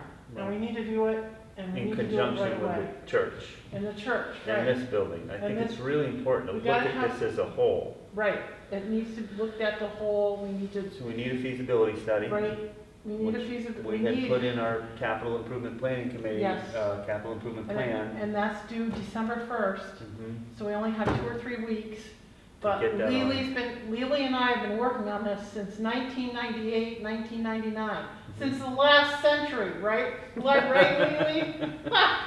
So, Yeah. we need, Can I make a, can I make a point though? There's Of course you can. that, Um, that was significant in our inability to actually take the, the hard data that we had and couldn't use to get financing. And that was that we do not have a housing authority. And when we went to Franklin County Housing Redevelopment and Re- Mhm. Authority, Housing Redevelopment, right, you know, the line, Yep. saying that long, um, slash RDI, we actually had, uh, something established and then they had significant turnover in their leadership and as did the town. And, um, it sort of just evaporated. So I think that, um, it would be very important to take a multi-pronged approach to this. And one would, prong would be the feasibility study, another prong would be to get a housing Mhm. Either, um, some sort of a commitment specifically, get to work with these folks, or build our own, nobody will play with us, which Mhm. I would rather not do, but, you know, I mean, I think that, um, because the town can't run it Correct. when, notice I didn't say if, I said when we build it, the town can't really run it. And there are also some really exciting models called, based on the Beacon Hill Village model, where we could do something like create a, um, a set of housing, but that could also operate as this nexus from which we could dispense services and which older adults can participate in as uh, more like a membership model and, and uh, not that sort of wretched class client uh, donor model. Anyway, there's a lot, there's a lot of possibilities out there. Technology, woo, we could do even much more. But I think we need to get a housing authority figured out, and um, and as well as you're right, look at what we have for uh, possible physical constructions, and then find out. Um, maybe maybe it's time to do another survey, but with different model ideas and let people tell us what would appeal to them. Anyway, huge possibilities. We could totally do this thing, and uh, I'm I'm I'm down for it or up Mhm. for it or whatever. Yeah. Great. I, I, we gotta do something, we got a short window here, and we need to improve our eligibility, um, cause it's killing us. We're not getting any grants because we just look too good financially, and we got too much money in the bank, and, Carolyn? yes, yes, Carolyn, Kevin Scarborough. yeah. Um, I figured I'd let you know that, that the sixteenth, which is uh, a couple more Mondays, the, um, the committee that was put together to look at, um, the senior center, the church, the town hall, the whole nine yards. Um, we're trying to wrap this up. Great. um, Oh, so great, we- It, it, it can be brought forward to, to the town. We wanted to make sure that, um, we didn't want, we didn't Julie wanted to make sure we just didn't put something out quickly, because if you put Right. something out too quickly, then, then it may not be accurate, it may not be correct. So, we're trying to make sure the i's are dotted, the t's are crossed, and so that way, when you get the information, it's good, valid information instead of something just from the head. Right. No, that's great. So Kevin, would we be able to put this on the agenda for the 18th to keep moving on this? Because, because then there's only another couple weeks before uh, it would be due to the capital improvement committee. That would be That's up to Julie, because Julie's really the one that, that's running the, the program, and she's doing a great job at it. Right. Um, I think she, she, she, she's basically the chair of the committee, um, and that would be Well- a question posed to I. I think, you know, so as far as the, this Trevor again, but as far as the, you know, we do have money set aside for, um, the church study. We had that a while ago, and some of that money was used for this plan, which was great, for this, for this, Right. um, investigation. But we did, we do also have pending on our capital improvement plan, I think it was fifty thousand dollars for a feasibility study. And I think, I, I don't know if that number is accurate, we just kind of threw a dart because we weren't sure, we kind of said, here's fifty thousand. So if we combine that with some money that we have, um, get a hold of the architect who did that presentation and really talk about where we want to go with the plan. I, I really want to see a flushed out uh, master plan of, of this kind of block. We've got the library ex- expansion, that's still kind of in the works, um, I believe. Um, we have, we have the church, senior center, and this town hall, and, and the school. So I mean, this, we own this whole block, and we should really think about master plan of parking, you know, how do we use this? What do we, you know, think I fi- still fifty really years out. I would love to do a thermal underground thing. You can share all of that. buildings. Exactly. Yeah. So I just think we need a larger I don't, um, I agree, I, mean, I feel like you wanna jump the gun and get moving on, like, No, but that was because it's a closed. grant program that we came across that we thought, gosh, Yeah. they would, that would pay for the heating costs. I know. Of all these buildings. And, um, you know, so that's why we gotta get our zip codes straightened out, we gotta, you There's know, a keep lot. moving on this stuff. But, and, and we need, you know, participation from the public to step up and wanna join these Yeah. committees to help, help move this So forward, so. if anyone is thank you all. interested, uh, Lily, um, is, I snagged Lily, so Lily's getting dragged into this. I see uh, Rocky on there too, he's, he's ready. Second, second century of work here. No. But, um, anyway, it would be lovely if we could move forward on this in the next couple months. Yeah, yeah, we do have Do you to set have a plan anything for. you would? No, it's just a matter of getting it organized and Yep. Kevin, thank you for that information. Um, we can have, Uh, this is Chris Harris, this is Chris Hi, Harris. Chris. When is the report on the, uh, assessment of the current buildings going to be issued? I think this, the, they were talking the sixteenth, right? Is that, Kevin, that's when you guys were getting together to kind of hear that? The sixteenth? At least hear, Correct, hear the that? sixteenth, we're getting together to go through and look at where we're at to make sure that what is put out is, is correct information. So shortly, shortly after that, uh, Chris.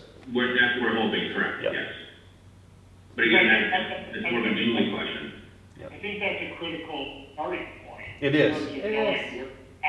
Yep. What, what is, what those building combinations gonna cost? Right. Because that may change the way you look at everything. Absolutely. Absolutely, Yep, that's where we started. So Yeah. you're right. Yeah, we've been waiting and with COVID and all the other stuff, so, um, and, and I appreciate you, uh, Kevin, and your board taking the time to, you know, to get it right and not just rush something out, because we really want to, we really want to use it as a starting point, for sure. yeah. So, um, anyway, there's a lot of stuff we need to get working on. But thank you very much, Lily. I'm really, um, I really want to make sure we're moving ahead on that.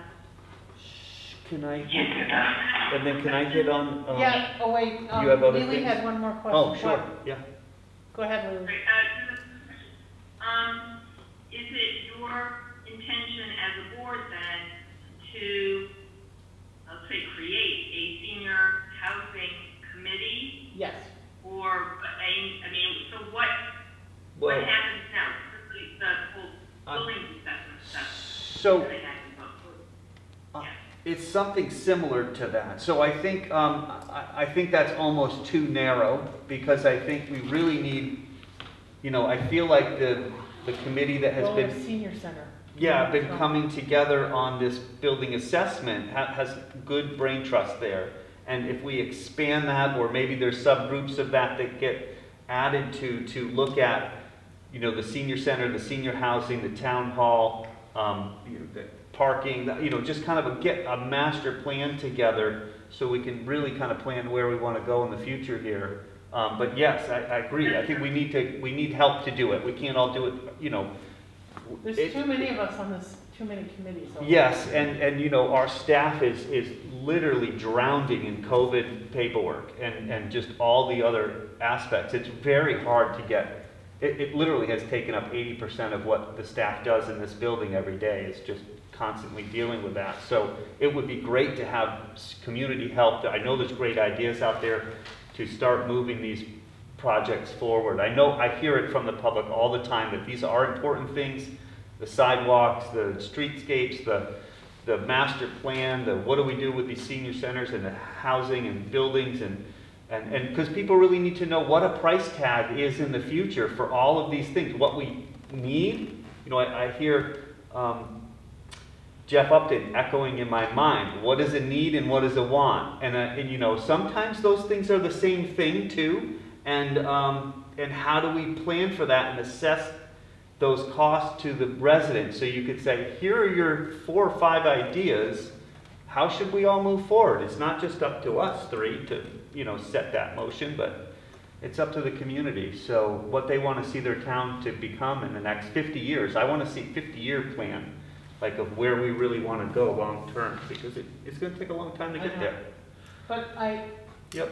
I I just, it's I really, agree. really important that we move with this Lisa in Mhm. the next two or three years to get this, our zip code thing straightened out so we can apply and be more eligible community. Right. Because right now, I mean, every time we apply for something, we get shut down. Mhm. So, Yeah. um, The- that needs to move on. So, is there anything else that either one of you Well, I want to just say? wanted to mention a little bit about budgets. I know um, I might get a shoe from the back room, uh, but but I want to get started a little bit looking at our budgets, right? So normally we do that right about now.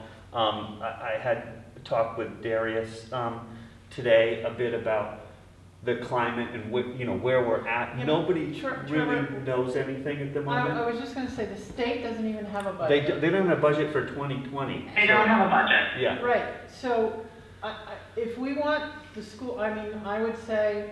Darius Carry can- last number.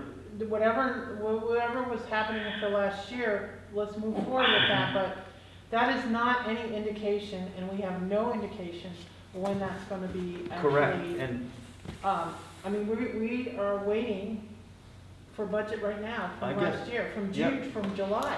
I, gr- I agree. So I think, I think. there We is a- are not gonna get a budget until at least December. Right. So, and that's just for the current year, let alone, you know, where we're going next year. So, um, but I do still, I, I get all that. I do still think we, we do have plans of what we want to do, right, for the next year. So it's important to get those going quick because December first gets here and then, oh, you don't have it on the list, nothing happens. So I think it's really important for us to plan out our, our plan for next year, and whether it's doable or not is a different story.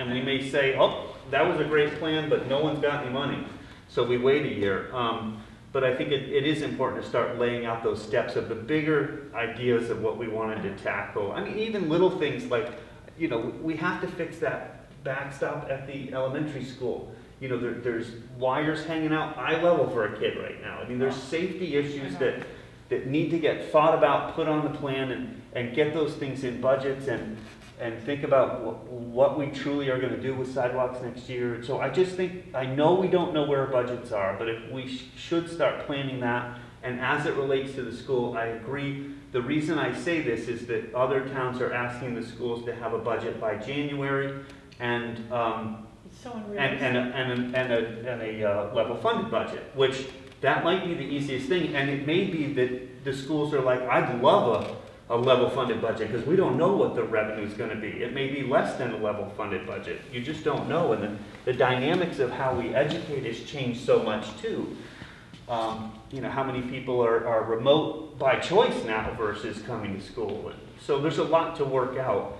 Um, but I just wanted to talk about that we do need to start, you know, I know that, that tax recap is happening and, you know, but we'll get revenues together fairly soon. So things are starting to move in the right direction. I just wanted to mention that that was a discussion. And, um, I, I, know that, you know, again, the shoe might come from the back room, but it- we do need to start a little bit. And I'm happy to help with it, so. That's all. Is there anything you want to add to that? Okay. I, I just, I don't want Darius to, you know, be putting so much effort into a budget that may not Understood.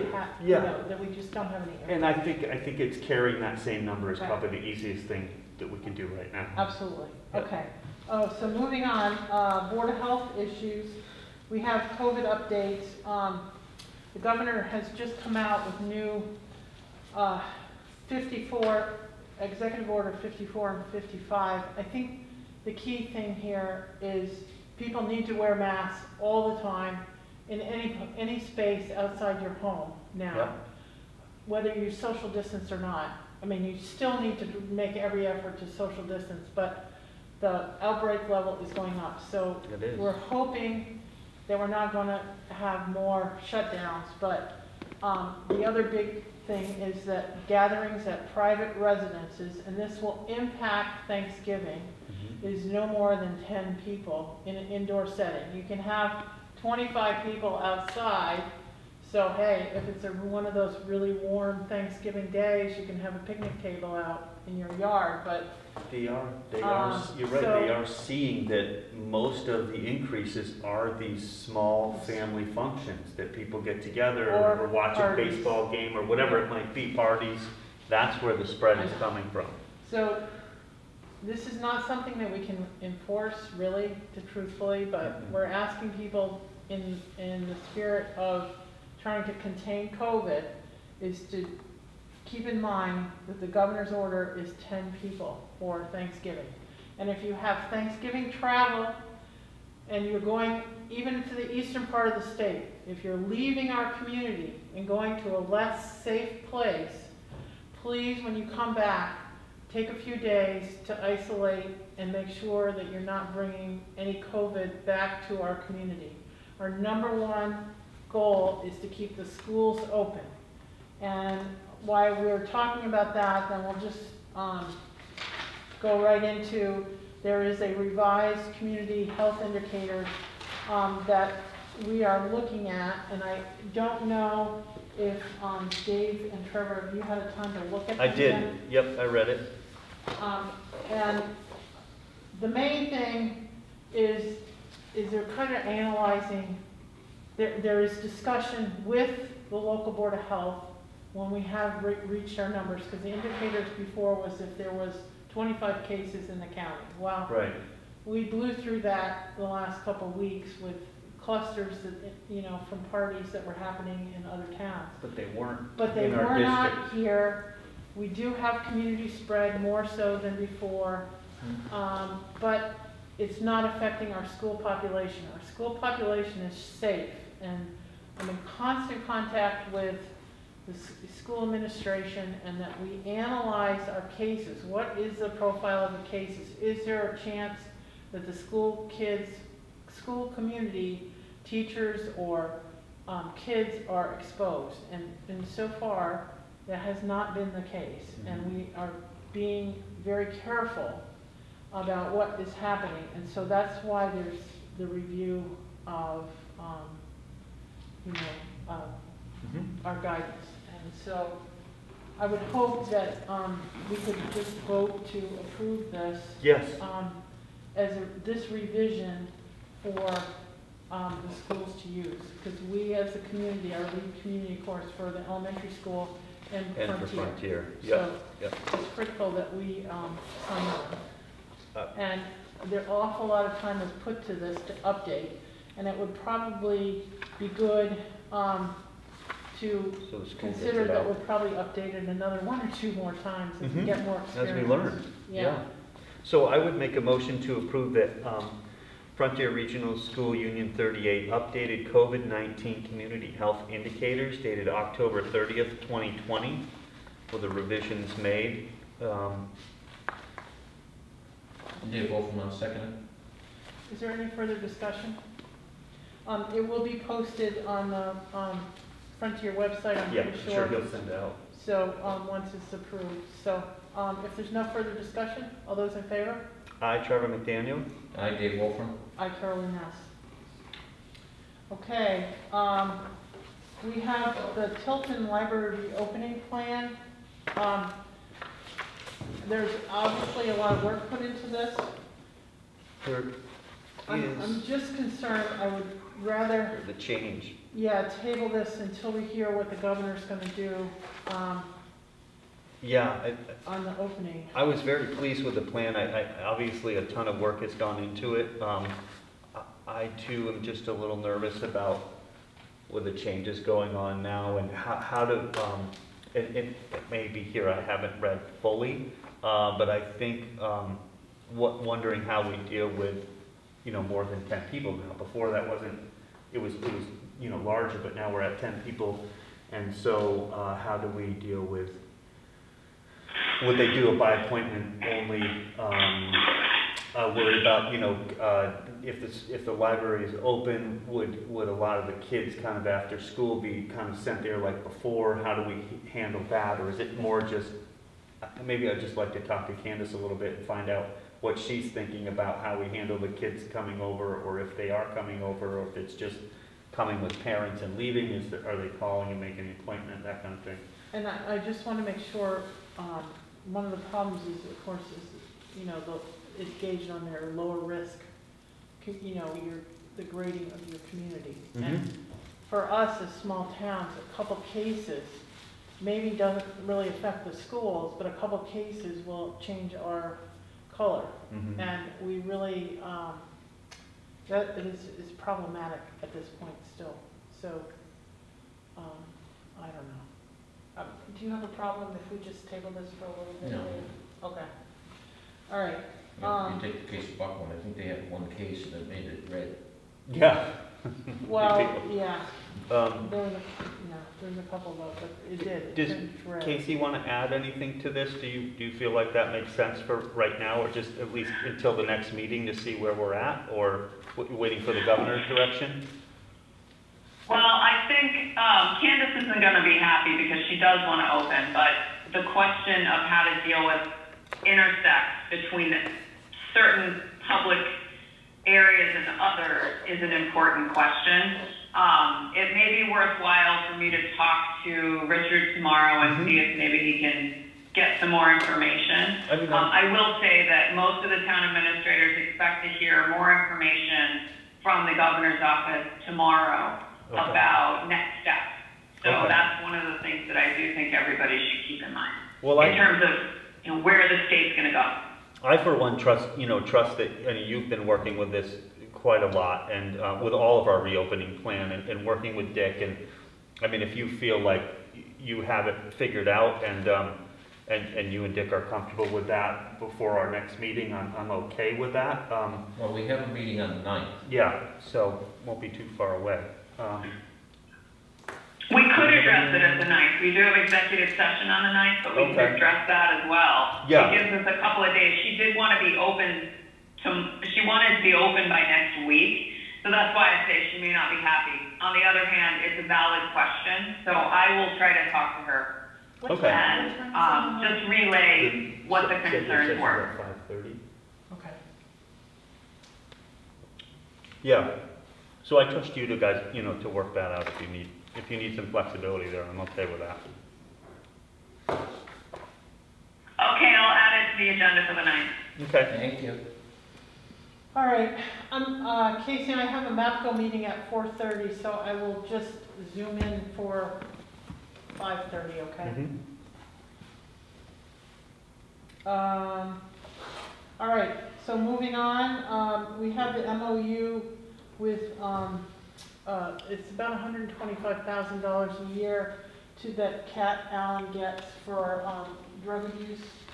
And she's been doing a wonderful job over the years, and Deerfield is one of the, uh, cluster communities that she Mhm. works Oh, with. she's amazing. So, She's amazing with her kids uh, and yes, knowledge, so we happy to need- do that. to vote that MOU. Okay. Is there a heading on that I can make a motion for? or- Yeah, I have to, I have to find which one it is. I think this is it. Uh, It is the FRS sub-grantee agreement for COVID-19 expenses. Okay, And then there's, there's another one, which is the CARE, Communities that Care Mass Call 3 grant, which is, I think, what Carolyn just said. It should be in there. yeah, no, there's a whole bunch. Right. There was so much printing and so many issues with the printing tonight. well, one was for, right, was for the, um, was our, was our invoice that we, we had set up that MOU with FRCOG, right? Is that one of these that we're paying? And then the, or is this a, a different MOU? No. The FRS MOU is to, because the um, Frontier oh, Regional oh, for Frontier. is a separate public entity. Thank you. We have to create a sub-grantee memorandum of understanding. Mm -hmm. It's mm-hmm. similar to what we did with FRCOG. Right. But and, and that was... it's, it and that would okay, be pay the COVID-19 expenses submitted through Darius and Shelley's office yes. for about $49,000 authoring me, Um, authorizing me to sign yep, this Massachusetts Collaborative for Action, Leadership, and Learning, okay, so, Mass Call Three. so just to clarify, there are, there are two things we're signing. Mass call, there are two. There are two. So the Yep. Mass Call three is the one with FRCOG for, for Kat Allen and, and her work. And I will make, a- Yes. make a motion to approve it, um, to, uh, uh, approve our chair, uh, to, uh, sign the uh, Massachusetts Collaborative for Action, Leadership, and Learning, um, MOU with the FRCOG. Uh, Dave Wolf will second. Okay. Um, is there any further discussion? Nope. All right, hearing none, all those in favor? Hi, Trevor McDaniel. Hi, Dave Wolf. Aye, Carolyn Ness. Um, I'll make a second motion, uh, to, to approve the, uh, FRS sub-grantee agreement for COVID-19 expenses, um, between Frontier Regional and, uh, the town of Deerfield. for their COVID expenses through our CARES Act grant. Uh, I gotta find that, which is the one. Where that is. That one should have several signatures. Casey, I'm not sure if I have, um, a sticker, I'll be right out. Okay, sticker for that. I have the DEP one. oh, here it is. Oh, I've got it here. all right, we got it. Um, I mean, it's, well, she might have one, because it's, oh no, here it is, two pages, three pages.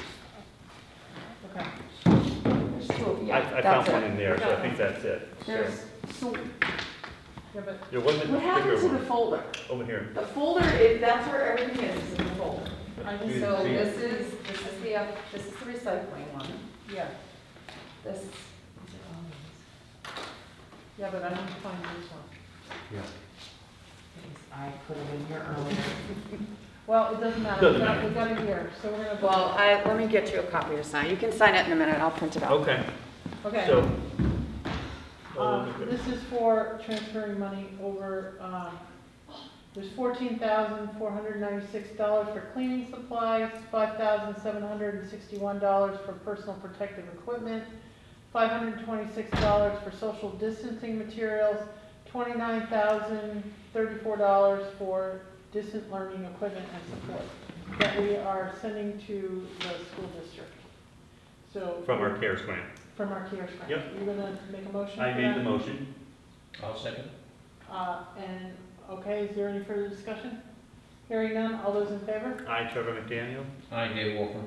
And I, Carolyn Ness. And just, just for the public, so um, Casey and um, uh, the the team looked at our expenses and made sure that we had, and we had applied for this grant money to be able to deal with these expenses through the town and, um, and through the schools. The schools didn't get as much money, even though they needed a lot of money, to, to make sure that they could educate safely and, and open our schools. So this is helping through our grant money that we got to the schools.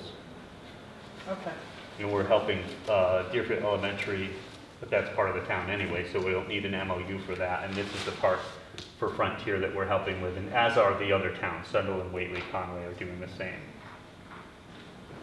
okay, um, She might be printing another one. yeah, all right. well, We'll just sign I'll again. get That's Dave fine. to sign.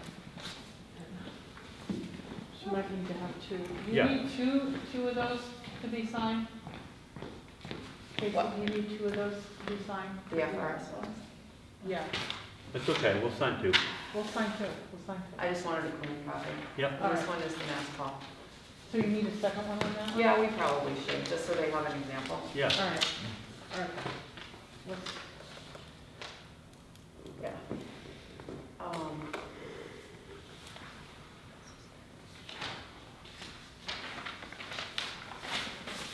I'll send one to Shelley. Um, thank you for doing that. I really appreciate it. I That was a group effort. It was, I you wanna guys make are doing sure- great. I want to make sure. It that was a group effort. We had a Uh, powwow. that's No, for Dave, Dave Dave needs- needs to sign that Dave one. Okay, so the next item on the agenda is the historic Deerfield flood evacuation plan and Deerfield River, oh, well, let's do the flood evacuation plan. This is, um. So those are the two plans that came up last time, and you wanted more time to review them, thank you. Um, This triggers me, uh, a memory, uh, the FEMA, how, the FEMA letter that goes to our hazardous mitigation plan, did you understand that? I'm talking to Kimberly about it. Kimberly No she hasn't responded to me, I sent it to Kimberly so we could dissect it. We had talked about it before because there was a holdup, and that response that we received was, there, hey, we forgot to send this to you, so what do you need for more information? And that's what Kimberly needs to help me with. Okay, well, I want to make sure, because we did, we went through town meeting and we voted the floodplain update. Correct. And, and this, and this has to do with the floodplain insurance. So again, Correct. it's only about a couple dozen houses, but if we don't get this straight, their insurance is gonna be like know that. triple And- or quadruple of what they are already paying. I know that. So this is huge, huge, huge. So, um, It doesn't impact a lot of families, but it does impact several. There's a lot of people that are actually in the floodplain. Well, Um, I know, but, you know, some of them don't have insurance. Well, until I can talk to Kimberly, I won't know what else we need to clarify. Okay, Um, because she and I went over that letter twice before we even mailed it the first time. okay, I just want to make sure it doesn't get screwed up, though. Well, I will do my best. No, no, no, I just, just put it on a tickler so it doesn't fall through the cracks. Yep. That's why I sent it to Kimberly, so she could help. Well, I mean, if you, all of a sudden you get a bill for, for ten thousand dollars that you didn't anticipate, you would be a little upset. Oh, yeah, I would be So- upset, so. Um, you know, so if, if someone's paying two thousand dollars now, or a thousand dollars, and they see that, those numbers multiply. Well, that's why it's part of the hazardous mitigation plan I know. update, is so that we I- can I- I clarify don't those want things. anything to happen. All right. Okay, so, um, this is part of the MVP plan that we got a grant. Uh, I was on this committee with John Patrick and, uh, the nonprofits up in Old Deerfield. This is based on, uh, having no evacuation plan if an Irene hit. As you remember, Irene hit when, um, school, you know, at the end of August, Mhm. uh, before the kids, the week, a week before the kids came back to school, so there was no out. kids to evacuate, but, um, the, we have three, once, once there is a dam failure or like what happened in Irene, you have three or four hours. There's not enough time to bus everybody out of Old Deerfield, so the, this plan is basically, you walk the kids across the street and up to Eagle Brook Yep. and all the tourists get, you know, move out, Mhm. you know, and so, there was a lot of work put into it. No, there was, it was a good plan. We're, I make a motion to, to approve this plan. all right, I didn't know if anyone wanted to discuss it, we, No, I think, the, I'll um, second that. okay. The only, just wanna mention that we were supposed to practice the notification, we had a tabletop drill. I got thirty-eight thousand dollars from Homeland Security, it got extended, so hopefully we can do it, when um, COVID next year for, co- you know, Mhm. It'll probably be sometime in, I don't know, maybe September of next year. Yep, Um, if we're lucky. w- yeah, depending on COVID. Um, so that we can sit down and have a tabletop drill to do, uh, the notification, because this is pretty really serious. It is. So, um, if there's no further discussion, all those in favor? I, Trevor McDaniel. I, Dave Wolfram. Uh, I, Carolyn Ness. Okay. Um, Casey, that was approved unanimously. Um, the flood, the Ri- Deerfield River floodplain land conservation plan, um, this, this, he- this is, again, uh, under the MVP, it's to, um, identify parcels in the floodplain that are not under conservation restrictions and that we should have to, um, address at some point through Deerfield Land Trust or, you know, people willing to do this. We put it under sixty-one A.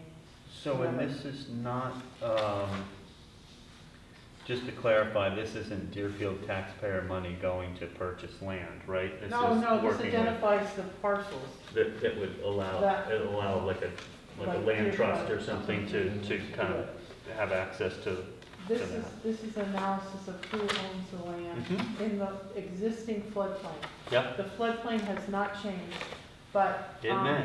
This is just to identify what, um, is, Okay, what's in the floodplain. So I would take a motion to have this approved.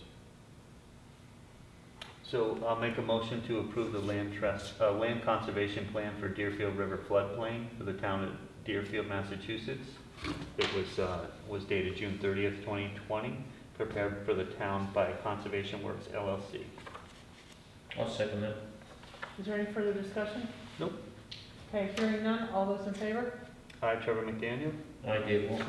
I, Carolyn Ness. I want to thank, you know, everybody that was involved with this, Chris Curtis Yeah, and oh, it and was, all a- of, it was a lot a of, lot of, lot of work from a lot of people. yeah, it So- was, it was. Thank you. But it's, it's a thing on our checkoff list for the hazardous mitigation plan, Yep, makes us eligible for more money. Um, the goal is. okay, next item on the agenda is the light pole banner. Carolyn, Yes, Carolyn, yes, the light pole banners is actually an Eversource permit, so Kevin's gonna be working on that with them. okay. But we had to approve it. Um, we Right. voted to approve it and the, initially, For a certain and date. for a certain, uh, you know, Time. a timeframe. So what we are doing, Casey, is extending the time frame from our point of view, okay? From the select board's authority. So I make a motion to, um, based on the, the, the correspondence with, um, Historic Deerfield, right? They, they were the ones doing this. Um, Right, um, they they- were shut down. It most- was actually sent to Kevin. That's why I'm confused, because Kevin tells me it was actually sent to him. We were copied on it, We, but No, we We approved approved it. it's an Eversource permit. we approve No, this we every approved year. it. They have to still run it by us to put banners on in the town. Yeah. It's, it's our approval, Casey. We already gave them a permit. We gave them a permit last year. Yep. But And the it year was only, before. it was only for one year. But because of COVID, and they've been shut down, uh, this entire year, that they would like us to approve it for this coming year. And I, I And don't to have leave any them problem with Yep. doing it. Um, cause COVID's gonna keep them shut down into next year. So I- I would make a, a- a motion to approve the light uh, pole banner permit extension pursuant to their approval from Eversource uh, to extend that um, ability to keep those up uh, through the rest of the year. I'll second that. Is there any further discussion? Hearing none, all those in favor? I, Trevor McDaniel. I did, well, I, Carolyn Ness. Um, they still have to get a, uh, Eversource permit, Casey, okay, or Verizon, actually, it's off, it's whoever's poles or those lights poles, okay? You know, the lights that it hangs on? So those particular poles belong to Eversource. Okay. Those are light poles, they're not telephone poles. All right. Okay, well, Thank you. those, those poles, um, they have to get a permit still from Eversource, but we also gave them a permit. So, but don't worry about it, it's for this coming year. Um, appointment request for the Recreation Committee, there is an, uh, an opening, and we have a recommendation, would you make a, um, recommendation, Trevor? Yes, I'd love to make a recommendation for, uh, I'm not- not great with that, with last names, but for uh, Gretchen, but, uh, By Susie? Bysewski. Um, I'm really. Bysewski. Bysewski. Bysewski? Okay. See, I told you. Damn, it's bad. I've heard that name. But, um, I'm really excited to, to, um, to appoint her to the recreational committee. Um, she's su- such, um, such a nice person, great personality, very enthusiastic, coaches, very, very, uh, just a great, great person to be on the committee and, um, help that committee, um, Yeah. with recreation. So, uh, so yes, so the recreation committee had, had recently accepted a resignation uh, from a member and, and searched for a new one, and they, um, the committee unanimously recommends that uh, Gretchen be appointed. So, um, yeah, we're looking, looking forward to have her. Okay. David, would you, uh, second that? I'll second it. Is, the- if there's no further discussion, all those in favor? I, Trevor McDaniel, I did, Wolfram. I, Carolyn Ness. Thank you very much, Gretchen. Yes. Appreciate that. offering to help. Um, installation of deer on the South Deerfield, um, common, the lighting of the common. Um, I just want to say it was really nice, um, you know, after Halloween, of November first there, to have a little vigil out on our common for just bringing light into the community and bringing us together. And I am hugely supportive of lighting the common when you, now with COVID, I'm not driving through town, you know, like four nights a week. It's only like once or twice a week or less. But it's still really wonderful when you do go through town to see everything Yeah, the, uh, so Deb We and need to figure out how we're gonna do this. Um, Deb Dacius and Denise Schwartz and all the women from the South Deerfield Holly Women's Club. Lankowski and Yeah, the- everybody, um, has been wonderful. really, really got this moving, and, and I would, um, I would like to just mention to people, if you would invest in a deer and put it on your lawn or, or any other place, or if you don't have a lawn, you wanted to donate it to, to a place to, to put it up, um, it's really kind of neat to see the herd grow over the years. Uh, They had been working on this for the last several years, and it, it's such a nice, welcoming, cheerful thing to see the herd of deer light up across, across, um, all over Deerfield. Um, And I think they would be looking to do this the week of, uh, the week before Thanksgiving. And, uh, and I think working I- I with Kevin hoping- and some I others, think- we're hoping to, to get the trees lit a little bit too. um, Oh, Well, there, the, there is, um, we have a wonderful volunteer, and so, uh, is Kevin still on? Kevin, are you yeah, on? Kevin's on. He Um, also had secured a tree Yeah, uh, just a Oh, green okay. tree to put up, uh, because we keep putting up, you know, ones that are already cut. So, uh, he's got it marked with dig safe and is gonna install, um, you know, a live tree, um, that could, could stay there for a while. And if we feel like we need to move it when we do the common project, we'll be happy to do that or move it to another spot. But at least it- we wouldn't be killing a tree every year. We'd put one in and it could stay there for a little while. um, and uh, Jason Clark and his, um, and, um, his wife Melanie have been instrumental in doing, installing these lights, so, um, Kevin, do you feel like it's gonna be, um, possible to work with, um, Jason and Melanie to, to get these lights up pretty soon? Because we, we can't have, um, we really can't have a lighting ceremony this year, but I would like to get them up as soon as possible, just so, Well, actually, actually, the lights are already up. The only ones, the only lights that haven't gone up yet are the ones that will be going on this evergreen tree that we planted on Monday. Oh, great, Monday. Um, Nice. Yeah, Monday, Monday is the day that, that the dig safe will be good. You know, we, we got the tree from, um, from Wise, Wise, Wise, Wise, Windex, Wiseneck. Wow, Yeah. I can't say their name. Anyway, out of Hadley. Welcome. Um, and, and, and the, and the reason why is because, you know, it was always, seemed like it was, well, we're, we're not really gonna do a tree, and then it was all of a sudden, it's like, yeah, here's a tree, and then when we go to put it up, uh, it, it, it looks bad. It looks, you know, we've got cables all over the place trying to hold the thing up, um, and it just looks, it just looks bad. So that's why we decided, no, we're just gonna bite the bullet, we're gonna put it in. I know that the, the, the common committee has got ideas, I know they've got somebody that's out there that, that's a professional that's gonna be putting something together. We're throwing something in the ground for here for now, like Trevor said, we can, go ahead and move it later on as Absolutely. needed. Yep. But at least this way, it's gonna look a lot better. Um, as far as, as lighting, it shouldn't be an issue. Um, the only recommendation I would have would be if they wanna go ahead and put some, um, greenery around the, uh, Fountain? the- Thank you, the fountain, that it be, um, not lit this time. Correct. The fact is, is, uh, because of what it is, because of the way that the, the, the breeze always blows, um, that GFI always pops, there's, Yeah. there's no sense in trying to do it. And then when we go ahead and try to take the stuff apart, um, you know, you gotta bust open the ice to get the cables out, it's, Yeah. it's, it's quite a little nightmare. No, I Um, agree. The lights have been removed from that crabapple tree. Yep, Um, Jason was great enough to be able to go ahead and try and take care of that. great. So, uh, uh, that should be coming down shortly. Okay. So the other, like I said, the other trees already have them in it. Um, but while we're talking about this, Jason is, came up with, Jason and I talked probably about two weeks ago. And, and his thought is, is, is it would be great if the lighting of the common was taken out of quote-unquote control of the town as far as money is concerned.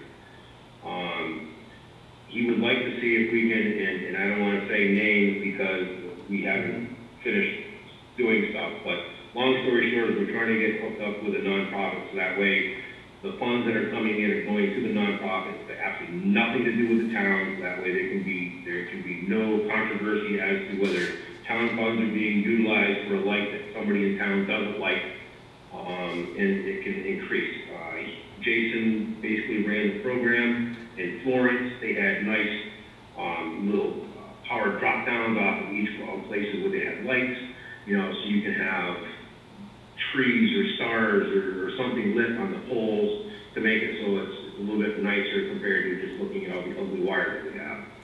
Um, so that's kind of the direction we're, we're kind of heading towards that, um, I, I briefly filled Trevor in on this afternoon, just about half hour before the, the meeting, so. Yep.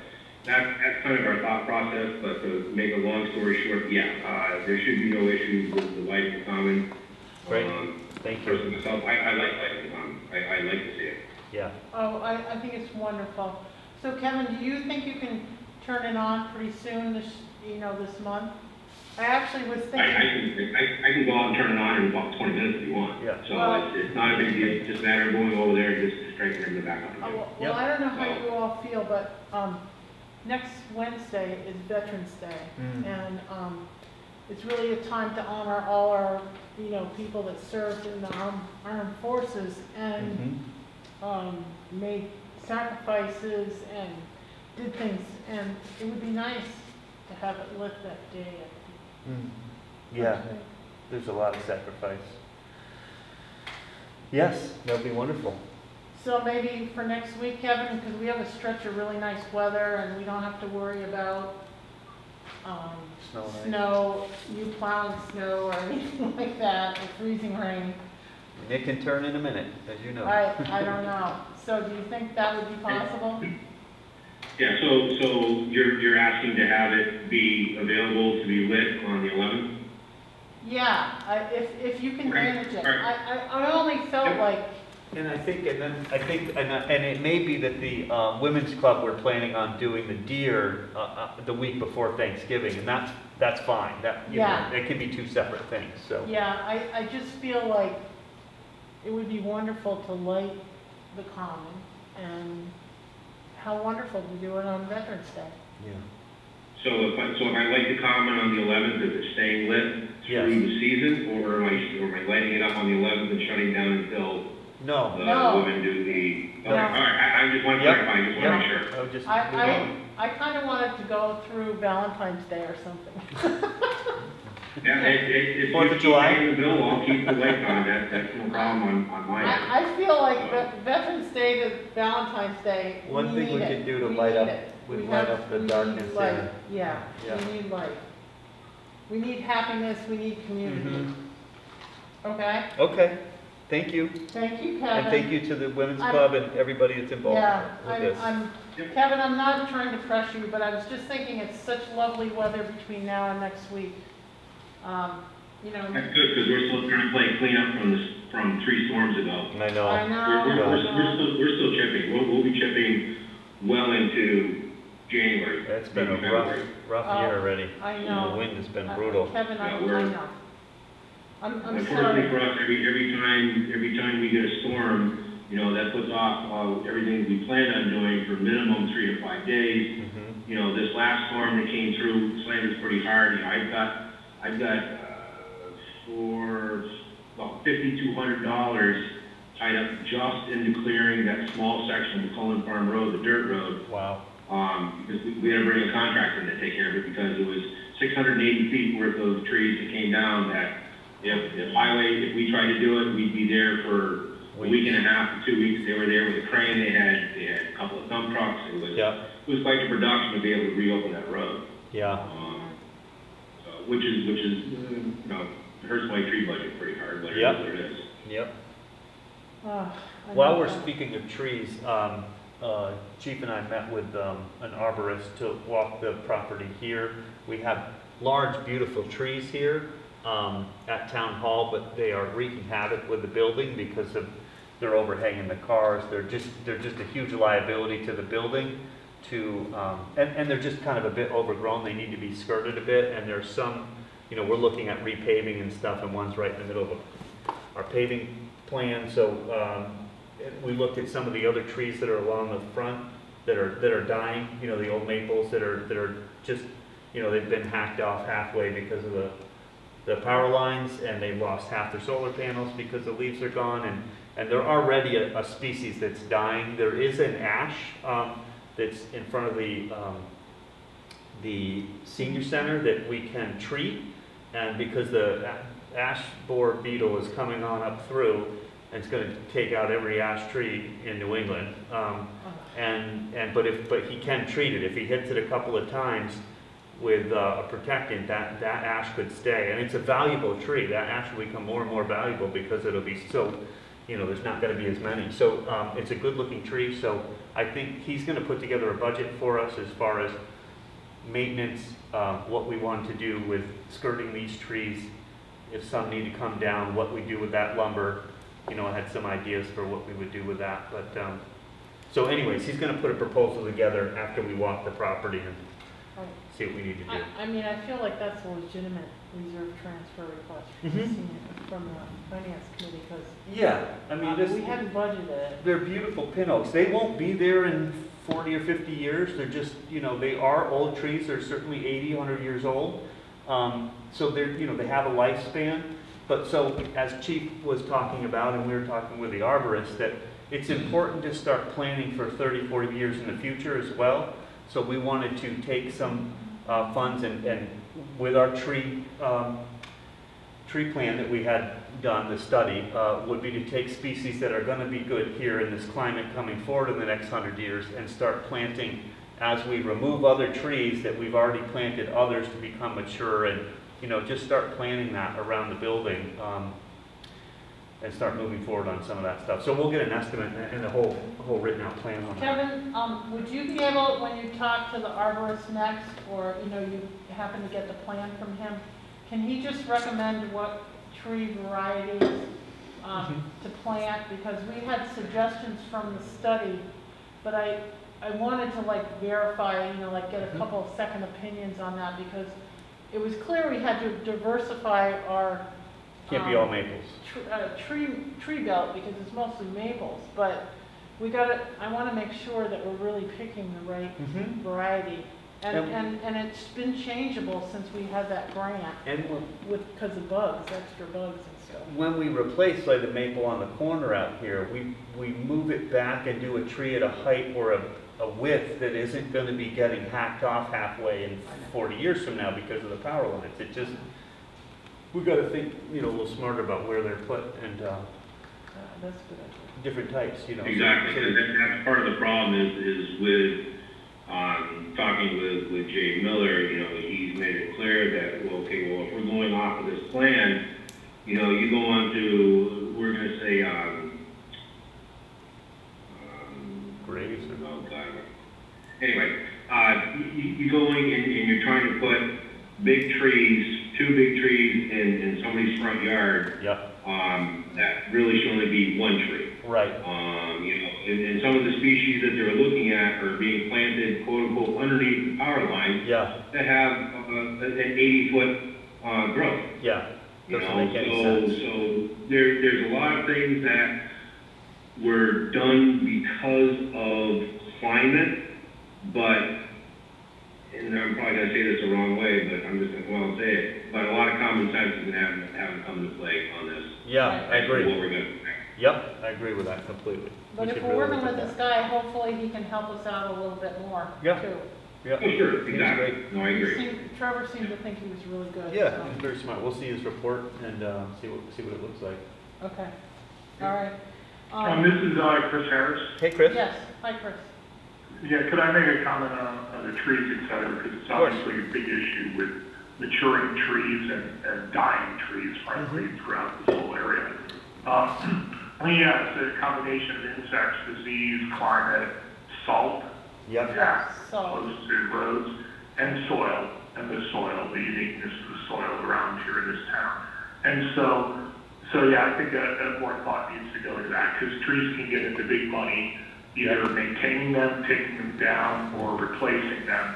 And I think it should be integrated also with your building survey too, in terms Yes. of what are those landscapes, what are those campuses gonna look like in the future? Right, that's a Um, great point. Maybe some of those trees will have to come down when you reconfigure how you use the property. Yep, And then new trees go in. right.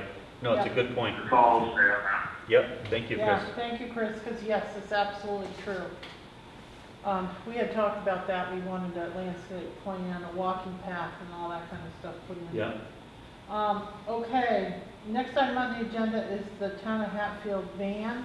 yeah, Um, that's just acknowledging to us a gift. the gift and that it is as is. And again, it is an as-is van. This is really, we, um, this is a item that was given to the town through the work of our, uh, director at working with her network. Um, Christina Johnson reached out and, uh, you know, we have a real need for transportation for our seniors. Obviously, today it's not in high demand because of COVID, but, you know, before this all happened, we really were looking at increasing our budget for transportation to get our seniors to, to shows, to dinners, to doctor's appointments, that kind of thing. And um, a lot of other senior centers have transportation. We live in a unique area because we're in connection with um, Sunderland. Uh, Whately and Deerfield utilize FRTA, Sunderland uses PVTA, and they don't work together. Uh, so we're having some trouble with that. Uh, we're trying to work through those issues. But anyways, this was going to be like a training wheels. So we wanted to get a van, um, understand a plan. Uh, Christine's developed a plan on how we would implement using it. Um, but it, it is a used van. I mean, it, it definitely, you know, it has some, it had some front end damage at one point. It's got some rust on the thing, but really it's, I think it will serve the purpose to kind of give us a good blueprint of what we want to do for investment in the future.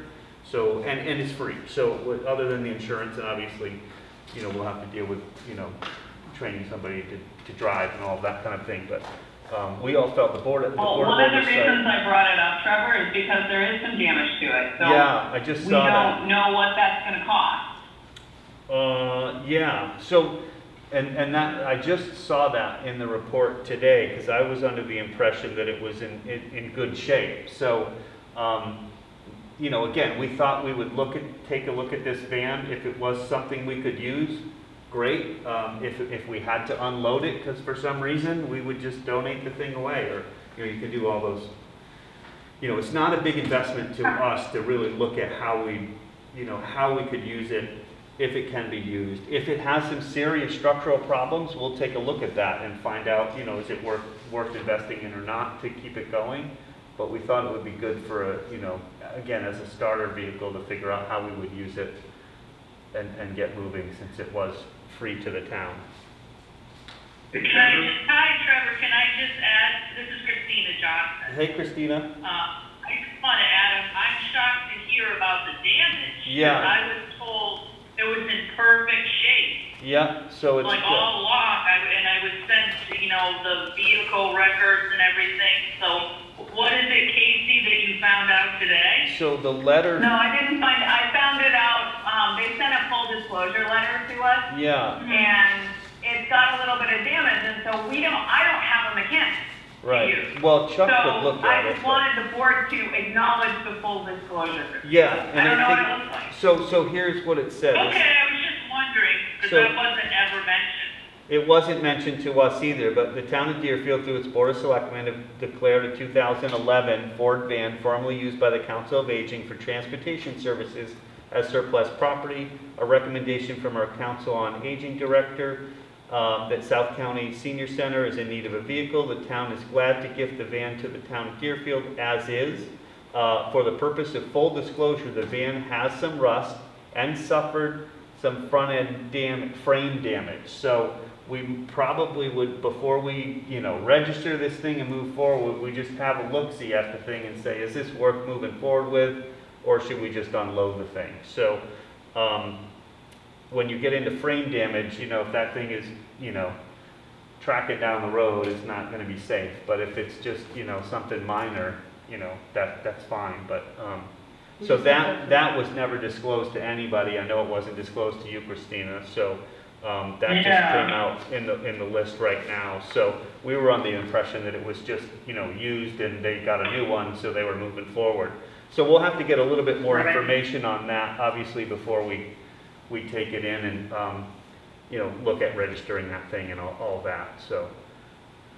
Trevor? Yes, Yeah, it's Rocky Foley Hey, Rocky. Is it a handicap van? Yes, it is. Yep, it has a wheelchair accessibility and, um, you know, it's not a, you can't fit a ton of people in it, but it could be used, we thought, for, you know, get, p- picking somebody up and taking them to the center if there was something going on, or to a doctor's appointment, or It's several really- people out It's, to a it's show. really what it is, is a concerning for doctor's appointments and stuff like that. Yeah. Um, It's getting harder and harder for our seniors to have, you know, people help them ride, especially, especially now as a lot of the practices, you know, have moved to Springfield. It's, Yeah. it's a much more serious endeavor to get to, um, appointments in So if the van worked, we thought, you know, let's see how it played in, and is it something that we should, as three towns, invest in for our, for our seniors, or is there another model that we can work on? But we, we- you know, this piqued Christina's um, ears because they said, hey, it's free and it's a handicap van, and we used it and it was fine, but,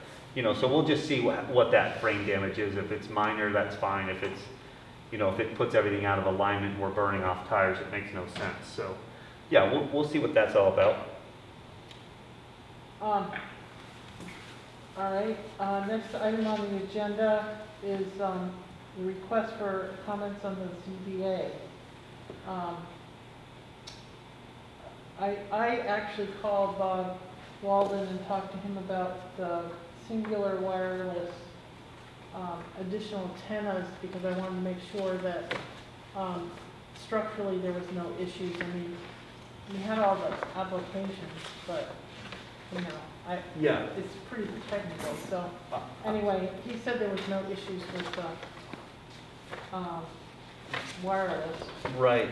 There were, um, correct, there were three, application. three applications, right, for us to look at? Yeah, I was fine with the, um, looking at those, I was fine with the, um, the one for the tower. Uh, that was for, uh, Cingular wireless, yep, for Yeah. Old, Old Pine For- Oak Road. Yeah, to add additional antenna. Yep, um, so I guess our comments, um, I would make a motion that our comments were that we, the select board has, has no issue with that. Right, okay. Um, Trevor? Yes, any questions? Uh, yeah, Kevin Scarborough? Hey, Kevin? Hey, I, I just figured I'd let you know that on, on, on mine, that when I filled it out, I made sure that I wrote in there, it was perfectly clear that that road is a, uh, a non-maintained road by the Yep. town. Yep, And, and any upgrades or whatever that is needed to be done to get up there, to do whatever the work that needs to be done, is not to be done by the town, it's That's- done by them. thank you, that's a good point. I know that came up with other issues and other entities that were maintaining towers up there, right? They were expecting us to, Right. to do all kinds of repair to the road, and that, that wasn't our issue. Um, Correct. That was, that was their Um, choice. So Kevin, do you think we should put that on the actual thing, just The to comment? make, just as a comment? And you, you may want to, just Yeah. that way they see it from two different places instead of just me. Thank you. Okay. Yeah, it's a good point. Okay, so we'll add that. So it'll be, Trevor, yep. Are you writing that So, down? yeah, so, uh, no issue Uh, no, with- no maintenance. with, um, Or with the, upgrading. with the antenna, uh, but, um, road Access. access and maintenance Is this the tower off, uh, is Dunkin' not, Rock? Correct, yeah, Old Albany Road, Yeah. or Old Pond Oak Road. Yeah, no, it's Old Pine Oak, it's not, not, uh, on Old Albany. Yeah, So Old it- Pine Oak. So I side of the wrote, um, no issue with the antenna, um, additions, um, but There's no, a huge tower. but road Up the- access- Up the road though. but road access, um, and maintenance is, is not the responsibility of the town, is that correct? Perfect, thank you. Yeah, perfect, thank you. Okay. Um, Old Main Street, uh. So I talked to Bob about this one as well, because this has been brought before uh, ZB, uh, you know, we've seen this three or four times, three times anyways. uh, And I think the last time they withdrew without prejudice, because they, I think they had the application incorrect, um, what they were asking for. So they, they fixed that and they adjusted the size of the addition to not be encroaching on the neighbors.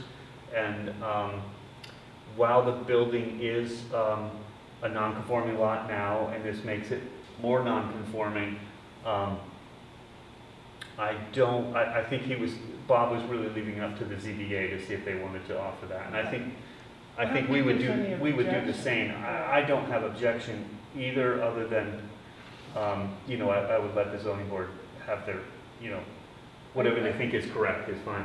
Yeah, I, I um, was just gonna say, I- I'm not aware of any. No, exactly, and I- it's Okay. just to get some space for the family, I think, so. Yeah, um, then there was the Talega um, appeal on one twenty-five North Main Street.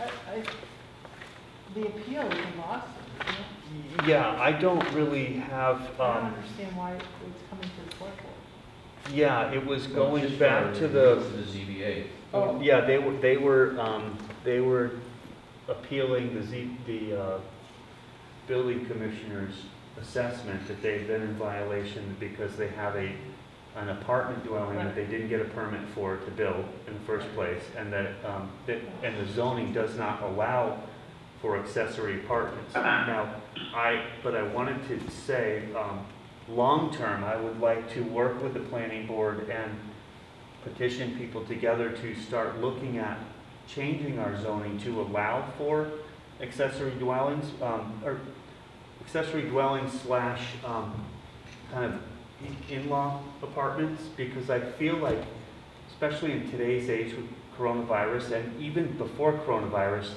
it takes an extended family to raise a family nowadays. It's really difficult.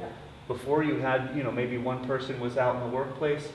Now it takes two, and they're doing maybe four jobs. And, and it's hard to raise a family, and you do need that help. And, and, and sometimes families are, you know, maybe they're moving away and the, the parents are getting a place in another area, but they come back for a certain part of the year and, and help with the family, and they don't want to get a, you know, a whole other house. They just, they want to live with their family and help raise their family. And I think, I think we need to move back to that as a, as a society of taking care of each other. And um, so I'd like to see that, that change. Um, so I don't really um, have any comment on this at all, other than, like, you know, it, it's not allowed, right? So just, I mean, they're in violation and, and it's not allowed. So, uh, you know, I, I sympathize, but it, it is, the facts are the facts. So I don't really have anything to say about that, other than I'd let the zoning board have that, have that issue to talk about. So Trevor, Yes, Trevor, yes, I just, this, I just got confirmation that this may be something that's on the planning board's radar screen. Oh, great, oh, that's great, great to hear. Um, Love to work with them. Yeah, Okay. this, this is a piece of property that was commercially zoned at one time, Mm-hmm, because, uh, Dave Bardwell's uh, Highway Electric was in there. okay, Um, and then, I don't know exactly how it transpired, but that commercial zoning disappeared. So, um, because it was still commercially zoned, it will be in their rights to put the apartment there, but seeing that it's not, yeah, um, technically they can't. You know, the other thing is that the uh, apartment was actually built, from my understanding, without any permits. right. Yeah, no, there was no permit. So, um, Yeah, I mean, I It's think just- if it was, i- i- right, if it was, um, if it was allowed in town, may, you know, maybe the inspector would go back and make sure everything is up to code, but at this point, it's not allowed, so it's just, you know, I think the no inspector's doing the right thing in saying that it's yeah, not allowed. So Yeah. by zoning it, you know, it is what it is. Okay, send it um, to ZBA without prejudice. you know Yep. what, I just realized I skipped over formula-based, uh, business zoning bylaw that the planning board is reviewing right now. Um, Anna Lee, I see that Anna Lee and Deb Shriver are on. Um, do you wanna just give us an update on this, or, um, or the timeframe that you're reviewing? Okay, thanks Deb, go ahead. Just, yeah, just very briefly, this is a bylaw that, um, I'm sorry, Debbie Shriver, Cumtuck Drive. Uh, I volunteer with Deerfield for Responsible Development, and we, uh, worked on this bylaw and presented it to the planning board, and it's- it's essentially a tool for those planning boards to work with. It'll give them some more discretion about working on, on having businesses arrive that are going to be able to, um, uh, fit better with the character, our, our agricultural and historical character. And, um, and that, that's important. We know that, that voters said in, some years ago that they don't want Route 510 or to look like Hadley, Route 9, and so on. And the, the character of the community is very important. So this is going to be, um, talked about at a public hearing in the planning board on December 7th. So I think that's a good time to really have a, a good conversation about uh, what it, what it is, what it involves. It's on the town website. Um, I, I can't give you chapter and verse, but it can be found, I'm pretty sure it's on there. Yeah, Ca- Casey, can you make sure it's up on the, uh, website? I've, um, Yeah, I've been talking a bit with some proponents and, um, I, I'm still hesitant on this. I, you know, I understand the reason behind it. Um, and I, I understand that the planning board does need more tools, I think, to tailor a bit of the appearance of businesses when they come to town. I'm a little concerned about the amount of restriction, um, that, that requires like, you know, you can't have more than three things, you know, you can't wear all the same uniform, you can't have a, your logo on a, on a coffee cup, and you can't, uh, have a, have a standardized sign if you have more than ten buildings uh, as a business, and I think that, it just seems a little restrictive to me. Um, I, but I do, you know, I get both sides of this, so I, I'm just, I'm struggling with it a little bit, trying to really understand it, and, um, I, I'm really concerned about the unintended consequences of what we're, what we're doing. I, I do get the fact that, you know, you want to keep a, a character and you want to, you're trying to create, um, a business aesthetic going up five and ten.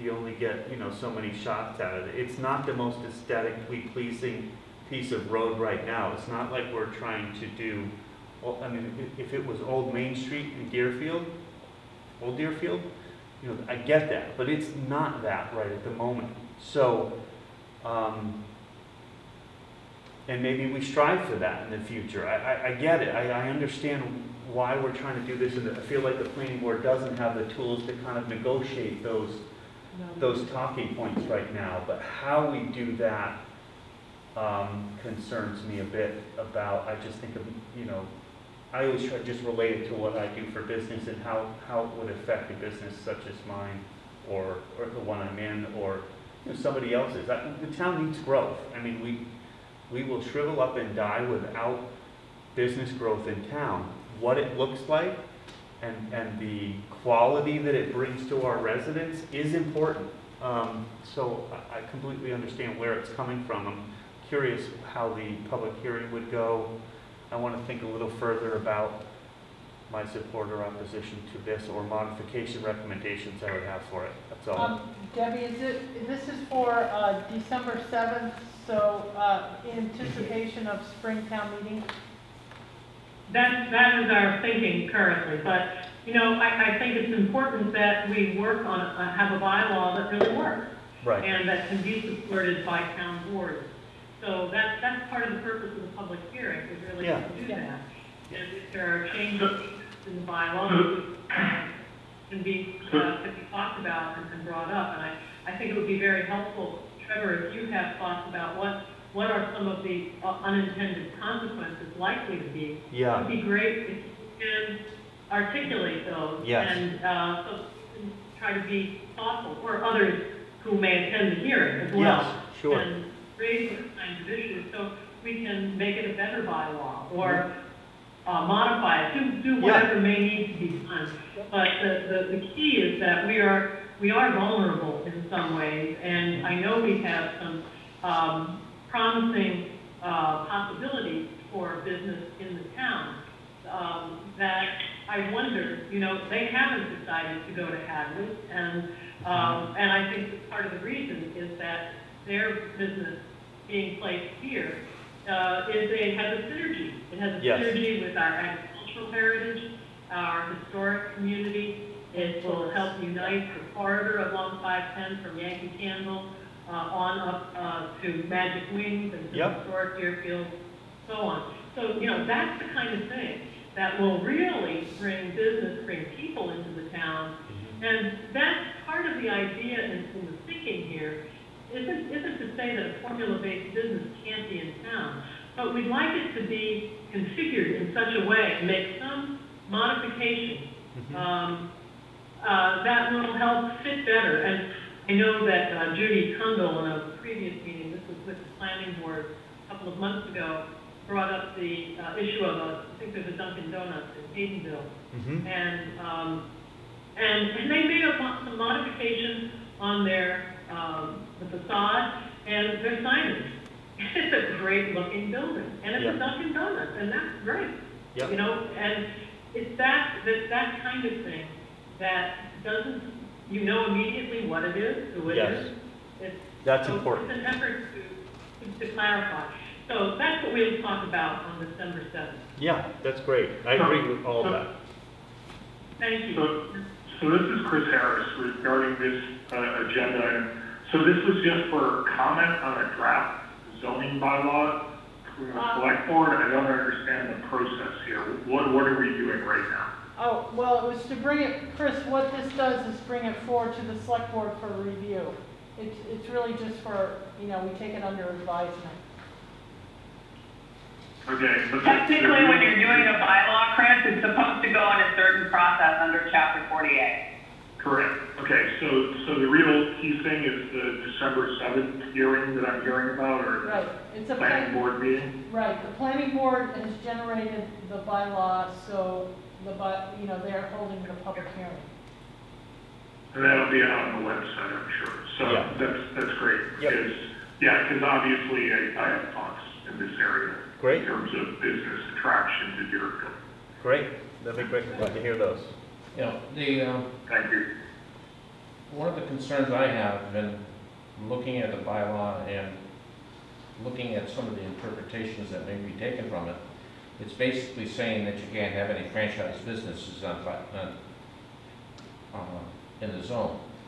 So that means, under, looking at five and ten right now, that means we ne- we would not have allowed Yankee Candle to build, and we would not have allowed Magic Wings to go in Well, with this bylaw. uh, These are both franchise now.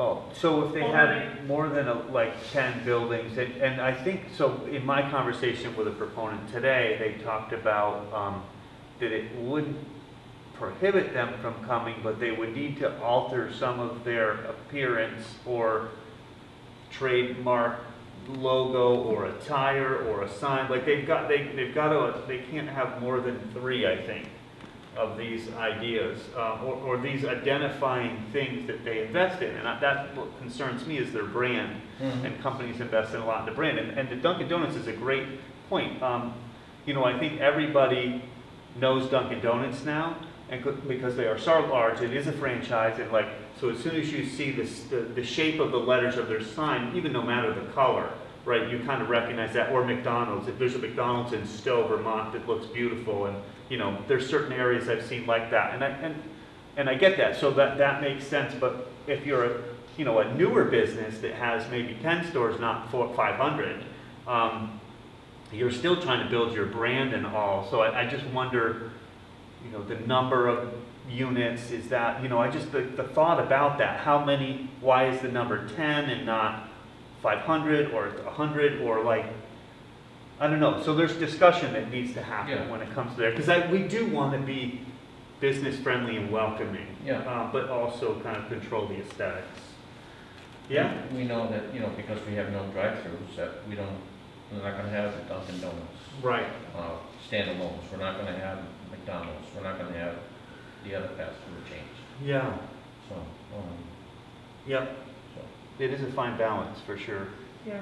But you're right, I mean, I think that the, the planning board does need some tools, right, to work with, but, yeah, how, how we come up with those is interesting. Okay, um, next, Debbie, do you have anything else, or Yeah. Annalee? No, no, thank you for that, thank you for, Okay. for, uh, considering it, and we appreciate that very much, and see you on December seventh. Okay, Annalee, you got a thumbs up, we're good. Uh, I think Okay. Debbie, Debbie spoke well. Great, All right. Great. to December. Yes, thank you. Okay, yes. Thank you for bringing it forward, Debbie and uh, Annalee. Um, Town administrator's request for the MCPPO delegation and letter of support for Stan for town administrator's certification. I think we signed that, didn't we, Casey? We can uh, make a motion. Um, the delegation letter is actually something that I have to sign, but I wanted you to look at it because it, it's a formulaic thing, but you have to identify certain items. And for instance, um, I generally do the, you don't really have to do quote requests for anything under ten thousand dollars when you're purchasing supplies, but we do do those reviews and we do price check things and generally, if, for instance, buying the, um, sign, the, the Smart smart boards. boards. Yep. That was a little bit over eleven thousand dollars. Uh, we did it through a PO, but it was off the state contract. So things like that are Right. things that we handle routinely in the office.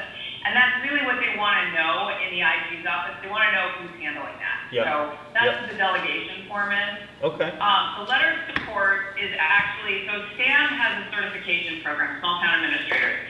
And I am preparing my application for it because my friend Andrea has been on my butt about it for quite a while.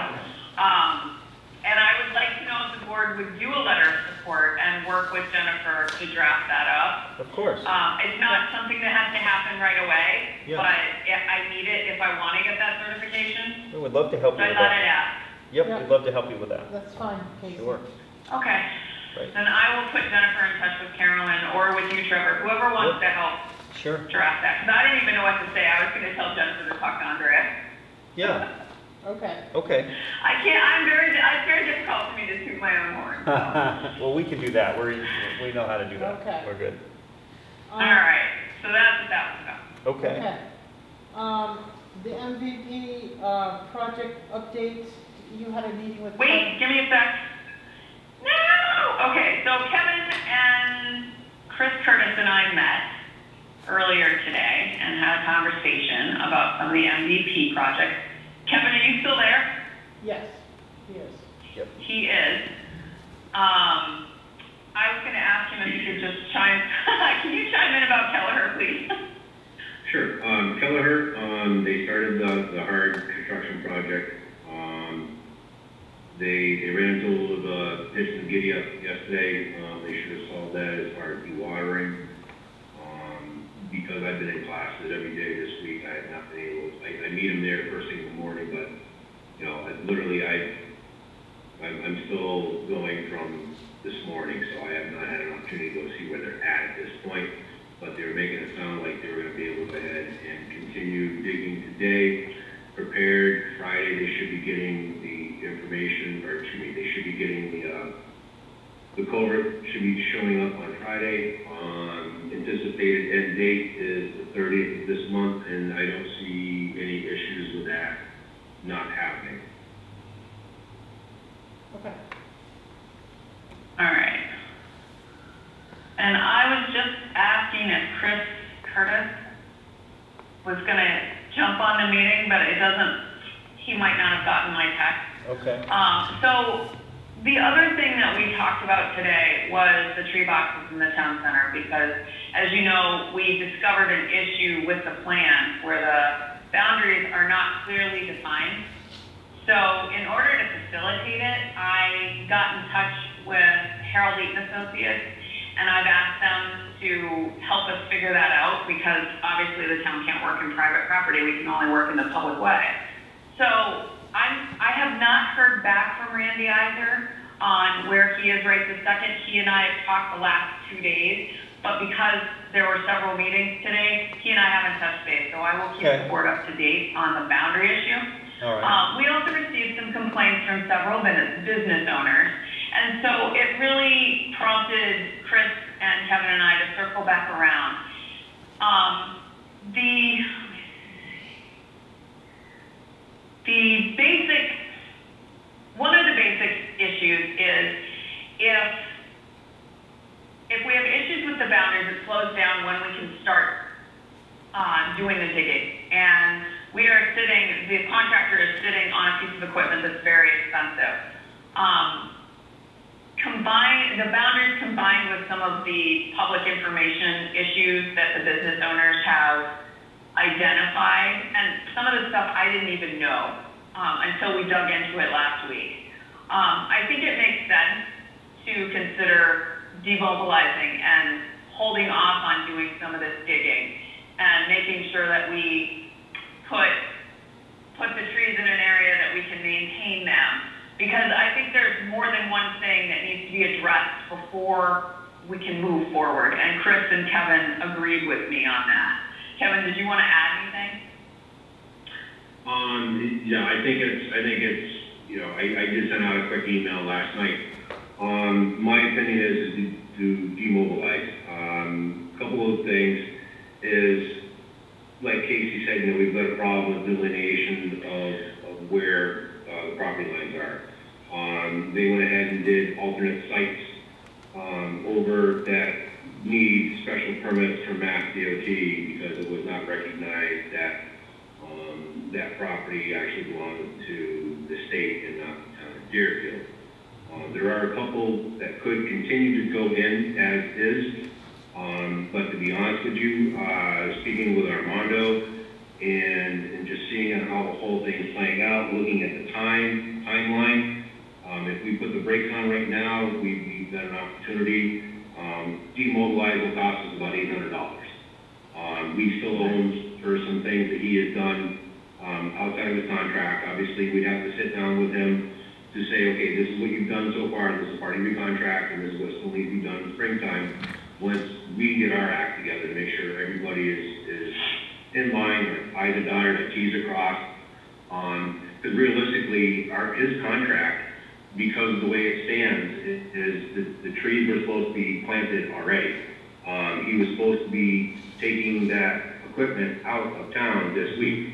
Now arbitrarily, if we decide we're gonna wait a week or two, then we're outside of our contract and we will end up paying whatever that rental cost is for that piece of machinery, which I'm assuming is gonna be probably at least twenty-five hundred to three thousand dollars a week, Yeah. um, because of the size of the equipment.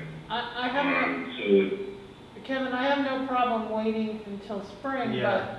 but I feel like we need to reach back to that engineering firm. Oh, yeah. They did a poor job. They Yep. didn't even, you know, like dig Casey, safe. Casey, Casey took care of that with a letter. Yes, It she did. fairly Okay. scathing, Yep. And it will be, I read that. It that. wasn't that bad. It was, it was well put. It was very to the point. Well, Very yeah, good. it was well put. Yeah. No, I agree. Let's, let's just So we are trying to address that. Let's- And one of the things that we can do, and Chris has actually started looking back in the overall MVP budget, and that was the other issue is, if we see what happens with Kelleher Drive, we didn't have a contingency in the tree box filter project, but there is a contingency in the Kelleher Drive project. Yeah. So Chris is looking at that, and I think he's gonna talk to Andrew Smith, our MVP uh, liaison down in Northampton, and see if we have a little bit of wiggle room, we might be able to use the MVP budget to absorb some of it. But in the meantime, we have to get this done, and Kevin and I identified where we can find money right now.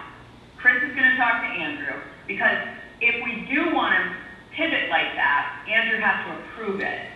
Um, and so I think it makes sense to do the demobilization and circle the wagons and mm-hmm. figure out how we can fix some of the problems that have come up in the last week or so. Yes, and discuss whether, you know, some, yeah, we should just regroup on that a little bit. Yeah, as long as. Okay, so if you want to do that, I'd like to send a letter out or an Yep. email out to Brian Migliola, who represented the business owners Yes. who contacted the town. I think it's important to do that and, and, yes, yeah, I'm all for that. Go ahead. That's fine. Yep. That's fine. And I think that what that will prompt is a bigger discussion with them.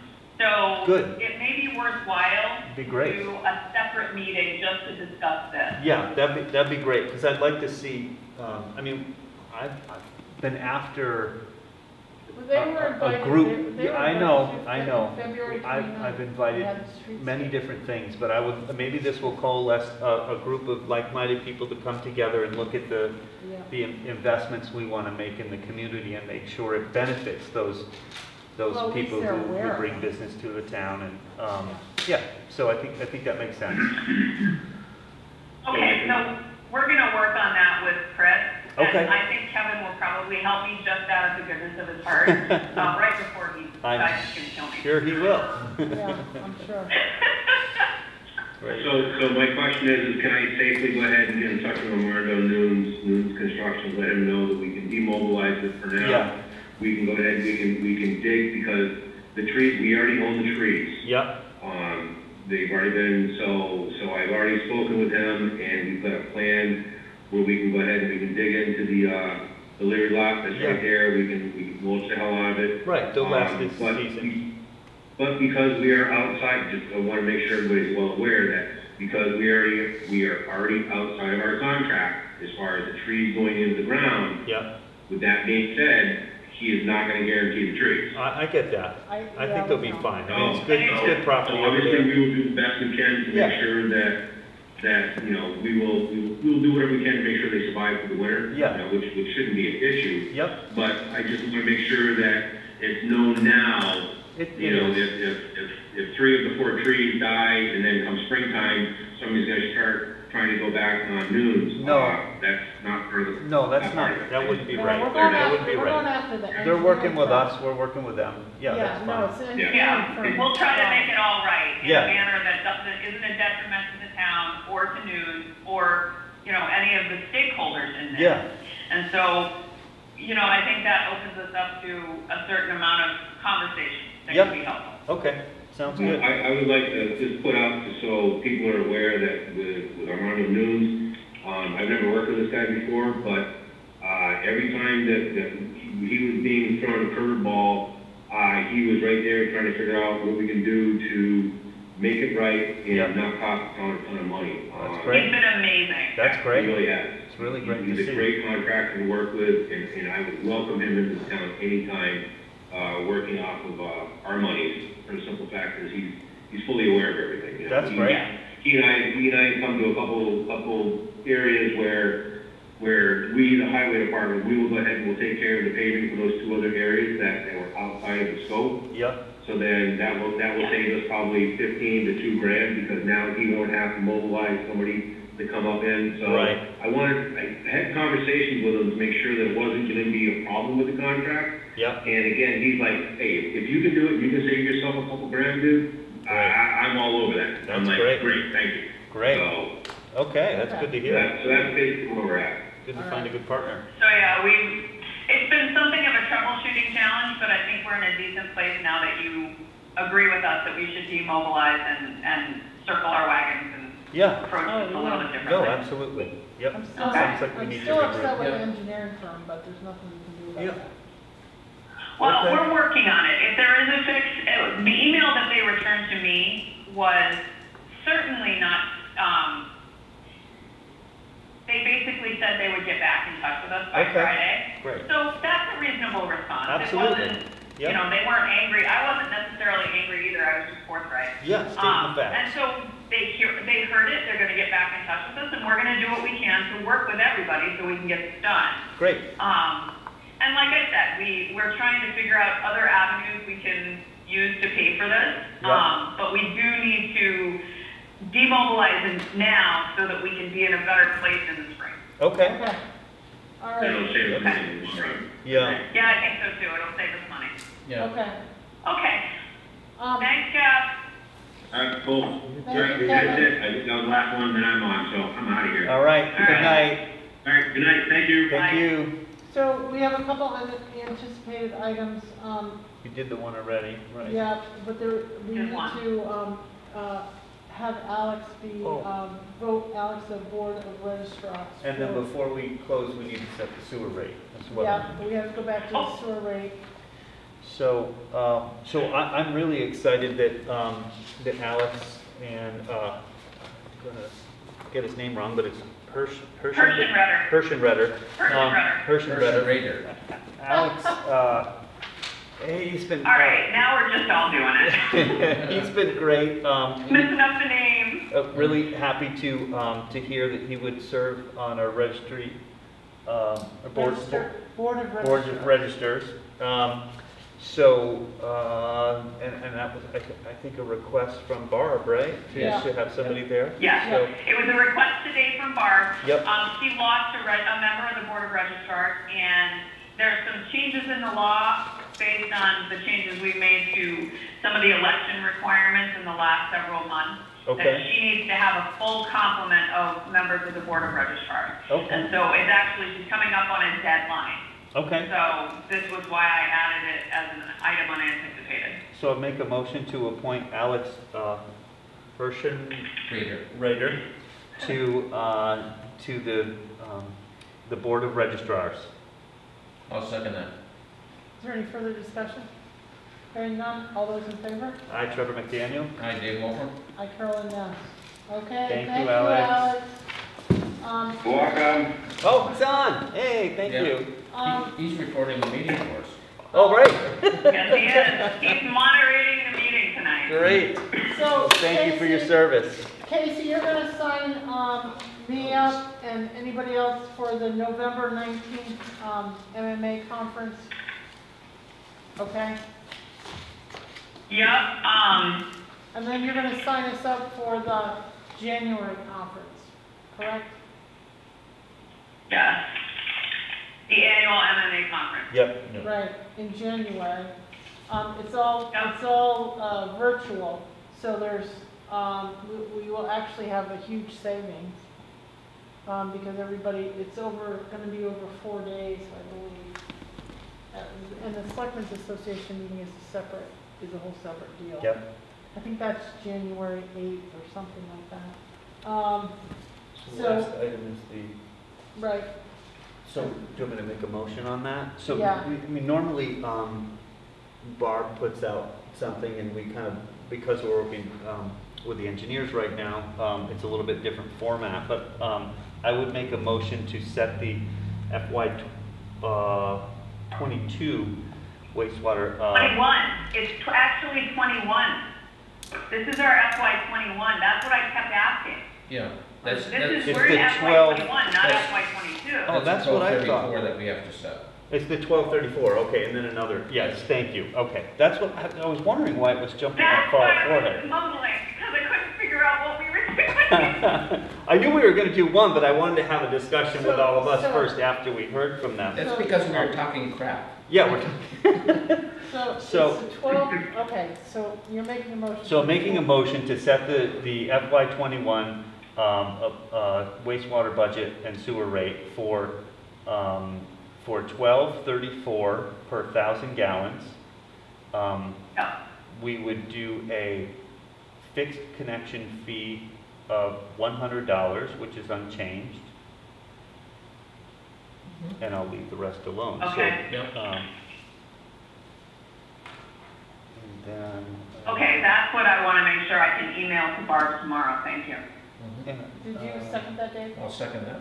All right. Is there any further discussion? I'm still a little confused on that. That's why I was concerned. Can you hang on a minute? Let me just, bear with me a second. Okay, so while he's doing that, can I give you a couple of updates because one of them requires uh, a select board vote that I found out about today at Book 2:30. Okay. Um, okay, so there's a couple of things that I've been working on in the midst of a lot of other stuff. Um, the Oxford property sale. So I had a conversation with Andrea Woods up at the COG because she did the last one, and we sort of brainstormed something, but I think we're going to need an appraisal because the we don't know what the property's worth in and I can't, I'm having technical difficulties, so you can't see me making air quotes, in COVID property sale.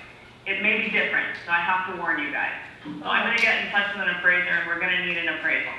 I just want to be able to sell the damn thing, this is ridiculous. I know. The problem is, and the reason I talked to, uh, to Andrea about it was because I knew she had just done a sale for another town. So Heath did a sale, um, of their school that they closed. And it was significantly lower, and one of the things, or the, the quotes, the responses were significantly lower, because property may not be as valuable in, during COVID. So I just want everybody to understand that, that's why I wanted to tell you. So I'm gonna get in touch and get an appraisal, and then I'm developing that RFP. Okay? Okay. Um, the other thing is, is green community. So we had our kickoff meeting for our green communities project because we received the grant. And I, where, there's a couple of things going on, but the green communities annual report needs approval, authorization for me to sign it by the select board. So that's in, it's due actually on Friday, and, um, we've been getting help, as you know, through the COG. Alyssa LaRose and Allison have been helping us. So they've developed it, MA and I are both looking at it. And one, two things that we needed to tell you about the new grant is we are gonna get in touch, I have things to do.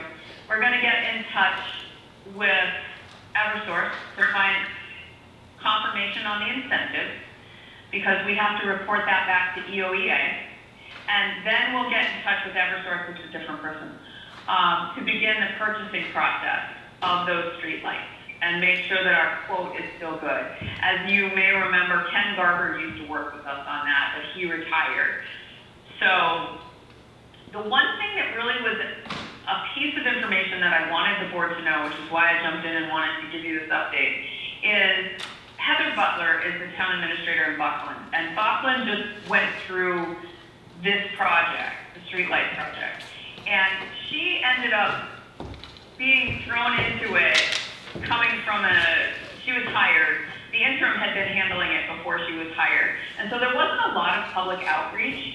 And one of the biggest uh, takeaways from her experience from what Alyssa said today was really starting the planning process for public outreach. Because when you change the streetlights, as you may remember, people are very um, critical of what they think should happen versus what might be, you know, a good option in terms of energy conservation. So I talked to MA, and she's going to take a request to start a timeline for public information outreach um, to the Energy Resources Committee, and she's going to get, they're going to get back to us with sort of an idea of how we can do this um, and how we can share information with the public. So I just want you to be aware that we're going to try to um, take a lesson out of Heather Butler's book.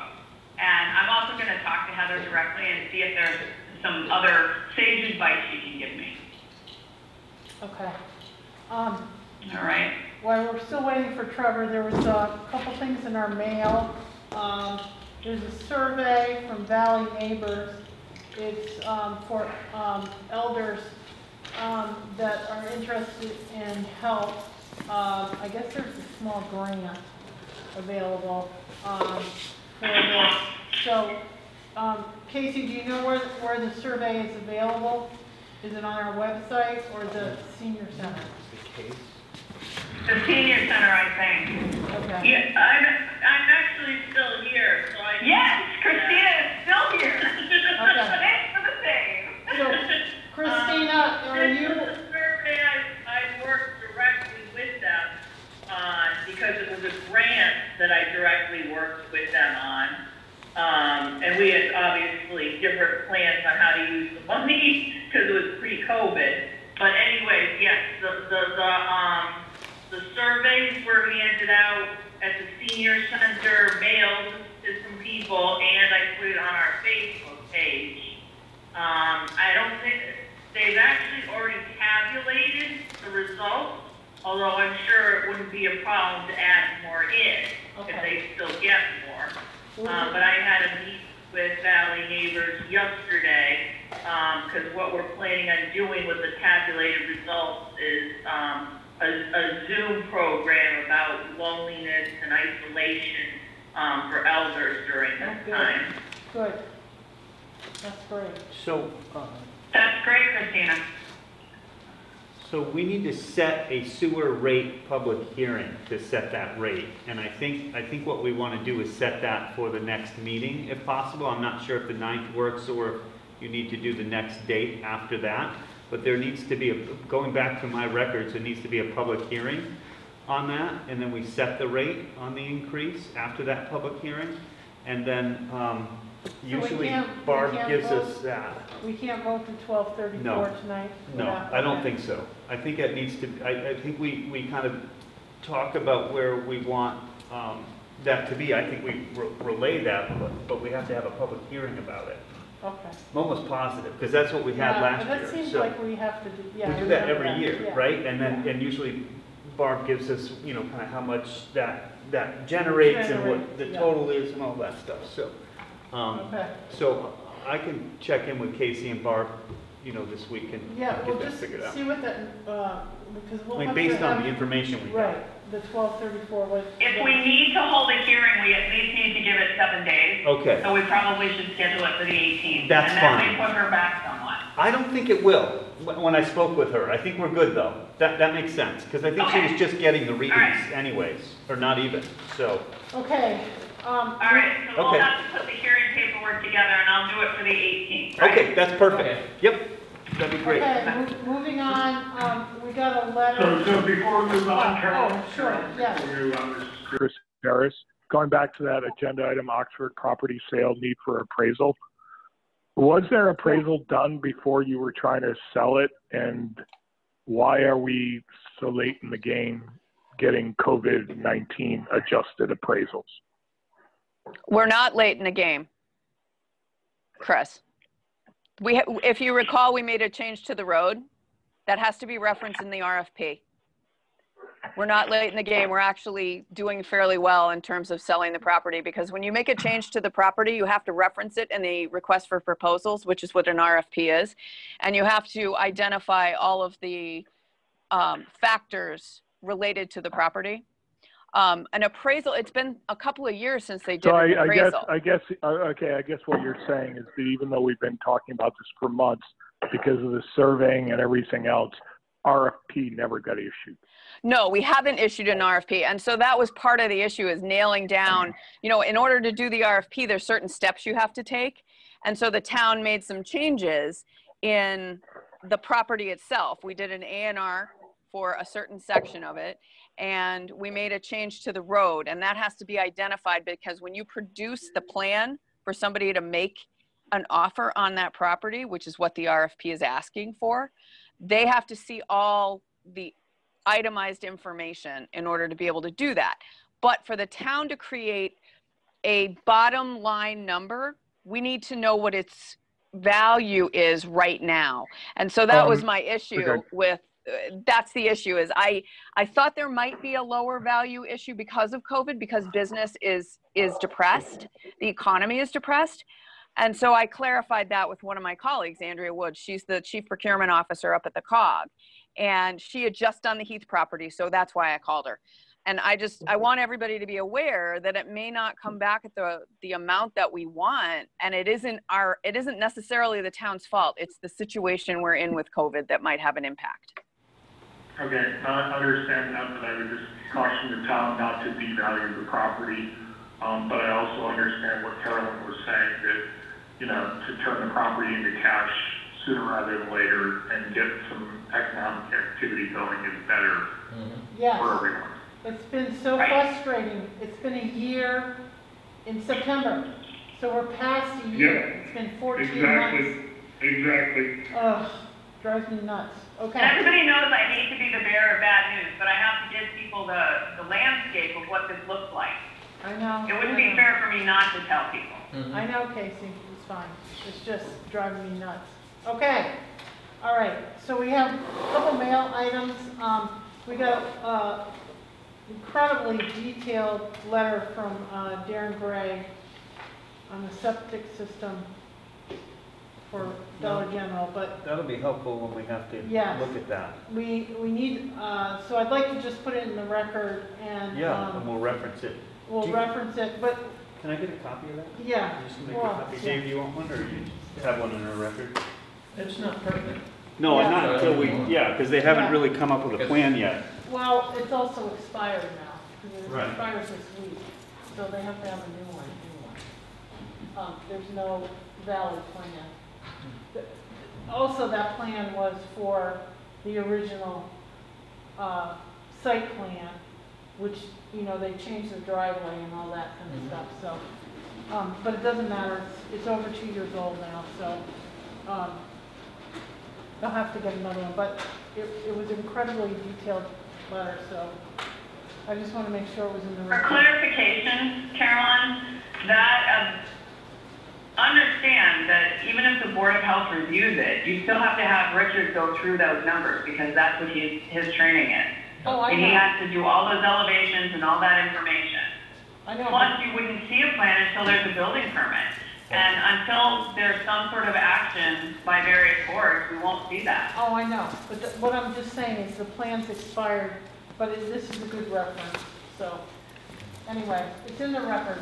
Um, uh, we have a DEP contract for the recycling contract. Casey, we just need to vote to, um, the R, RDP. Vote to approve and have you sign it, yep. Okay, so, um. Uh, we also received a question from MIIA, our insurance company, Yeah, about whether that. we want to continue with them through 2023. Yeah, I got. I, normally I would handle these, but I did want the board to comment on this because Um, I think we should.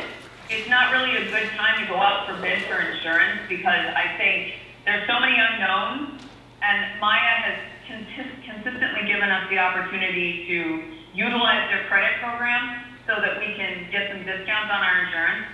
And their actual, and that's usually through attending trainings and such.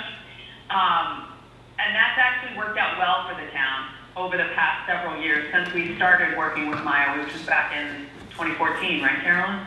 Yes, well, um, we went out to bid, um, in, in 2018, so, um, I, you know, and, and MIIA was much better. And, um, Trevor and I, in the last three, Oh, we get good discounts. We yeah, we, we max out our, we go to all the seminars, and so we've maxed out our discount. I think we're like ten or twelve percent off, um, by the seminars. Kevin has been getting credits with his OSHA Yeah. training. Oh, yeah, it's been meetings And today all day. so, um, Right. I, I think we just, this is not a good time, we don't have budgets and everything, so we're just, it's not a good time to go out to bid. Um, you don't That was have. kind of what I thought. Yeah, no, Well, you don't have they've been time, helping you don't us. have time to do the new list. Right, and the They've bid good. process is pretty substantial. Yes, yes, it No, I is. think they've been great. Yeah, I mean, I, I mean, they're not increasing this year. no, no, so, um, There's only three. Okay, so we got, I'll make a motion to um, maintain the MIIA insurance program for property liability and workers' compensation. Trevor McDaniel, second. Um, Is there any further discussion? Hearing none, all those in favor? Hi, Trevor McDaniel. I, Dave Wolfram. I, Carolyn Ness. Okay. Then the other one is the recycling dividend program, um, the RDP contract. We just, um, Received the- the money back. yeah, it's, it's actually just to receive like fifty-six hundred dollars is our Yep. estimate. Great. So, uh. Make a motion to re- uh, receive the grant money I'll for the second it. recycling program. Is there any further discussion? Hearing none, all those in favor? Hi, Trevor McDaniel. I, Dave Wolfram. I, Carolyn Ness. Okay. All right, we're all set then. Casey, is there anything else that we missed? It was. No, you told me I need to sign up for the, no- I need to sign you guys up for the November 19th conference and Oh, the annual MMA The conference. one thing, And I will, I will start thinking about scheduling a date for uh, DPC to come back in January. okay. Okay, And I also, um, I also want to, um, remind everybody that November eighteenth, right, is the eighteenth, is the, um, kind of public hearing on, um, our first discussion of the park that, um, the town, uh. Public information pub- session. Public information session on, on the park that we, uh, that the town approved at the, uh, special town meeting recently. And, um, so we'll be talking about what we'll put there and what it'll look like, and we have ideas, but all that will get hashed out. Uh, So, yeah, Great. That's on our website. That'll be on, yeah, I'll be on a Zoom, like everybody could sign in like tonight. Check it out. please participate. Yeah, yeah, we want to hear what, what you think. Um, Okay, And just Excited as a about it. friendly reminder, you know, that we're not a town of two hundred people, so we are not notifying every citizen in person that we're having meetings and stuff. That's the purpose of our town website. So people can look at all the different meetings that we have, all the different hearings we have. And I quite frankly don't like hearing complaints about, well, nobody told me about this, even though we've been meeting out about it for two years or something. I know, two years. Um, you know, it's part of the citizen's responsibility to be looking at that stuff too. You know, um, so, And we, and we, and we really try to notify people too. I mean, we we try send to, out, but it's just, we send out invitations, we send out Yeah. stuff. It, it is just difficult, so, I understand. Thank you, David, that was nice of you to say. Um, okay, if there's nothing else, I'll take a motion to. Public adjourn. comment? Oh, Oh, yes, please. yes, yes, You know, like, uh, yes. This is not out of Chris Harris, it's, um, November ninth, what time will that meeting start? five Um, thirty. We, well, we have an executive session that It's night. six o'clock. We have executive session scheduled, and we will have to go back through the reopening plan. So it's scheduled for six o'clock, and I just updated the agenda to include that Tilton Library reopening plan trip. So, So is, is there really an open session on that one? the, There will be, well, they have to start an open session, and I rearranged the agenda so that the reopening plan is first, and then the executive session. okay, great. But we do have a time limit with counsel, guys. Yes, okay, so we'll be, yep. Rocky? Yes, uh, a couple of quick things. I missed the very beginning of the meeting tonight, so I don't know whether you said this or not. Uh, I just, uh, think that the, uh, the staff over the past two weeks and yesterday for Bowden, they did an absolutely fantastic job. Thank you. Um, e- everything went smoothly. Um, a- a- again, just kudos to them. And the other thing is, uh, Lower Road being paved now, it's wonderful. He did a. I'm gonna tell Kevin you Yeah, said that, Kevin everybody got tells him those things, so. And I will tell Barbara that you said that too, Yes. because they, Barbara's staff worked their butts off. They for the did. election. I thanked Yeah, them today too. Yeah, they did. They, they really did. And, uh, I voted early two, two weeks ago. Yep, And I go by yesterday and everything looked like it was running so smooth. it was. So they did a fantastic job. They did a great job. And all the Thanks volunteers, that. Yeah. that. Thank you, Rocky. All the volunteers when I Uh, came through. it. Yeah, when I came through, were, were, Yes. you know, were great. You know, everybody helped out and, um, I know Barb had a lot of new people and change and, and it that was a big election. They did a lot of work ahead of time. Uh, get, getting those ballots, getting them out, pre-registering and, and then I, people I think did a great job using the drop box. We finally got one big enough for this election. Uh, but yeah, so I think you're right, Rocky. Everybody did a great job and you should be all proud. We had, I think, 86% of the town turnout, which is very impressive. Um, so thank you, everybody, for participating in, in our, in our election and having your say. So, Yep. Um, However it works out. Good night. Good night, Okay, everybody. Motion listen. to adjourn. Okay, motion to adjourn, Second. all those in favor? Aye, Trevor McDaniel. Hi, Dave Wolfram. And I Thank you, can't remember. everybody. Thank you, everybody.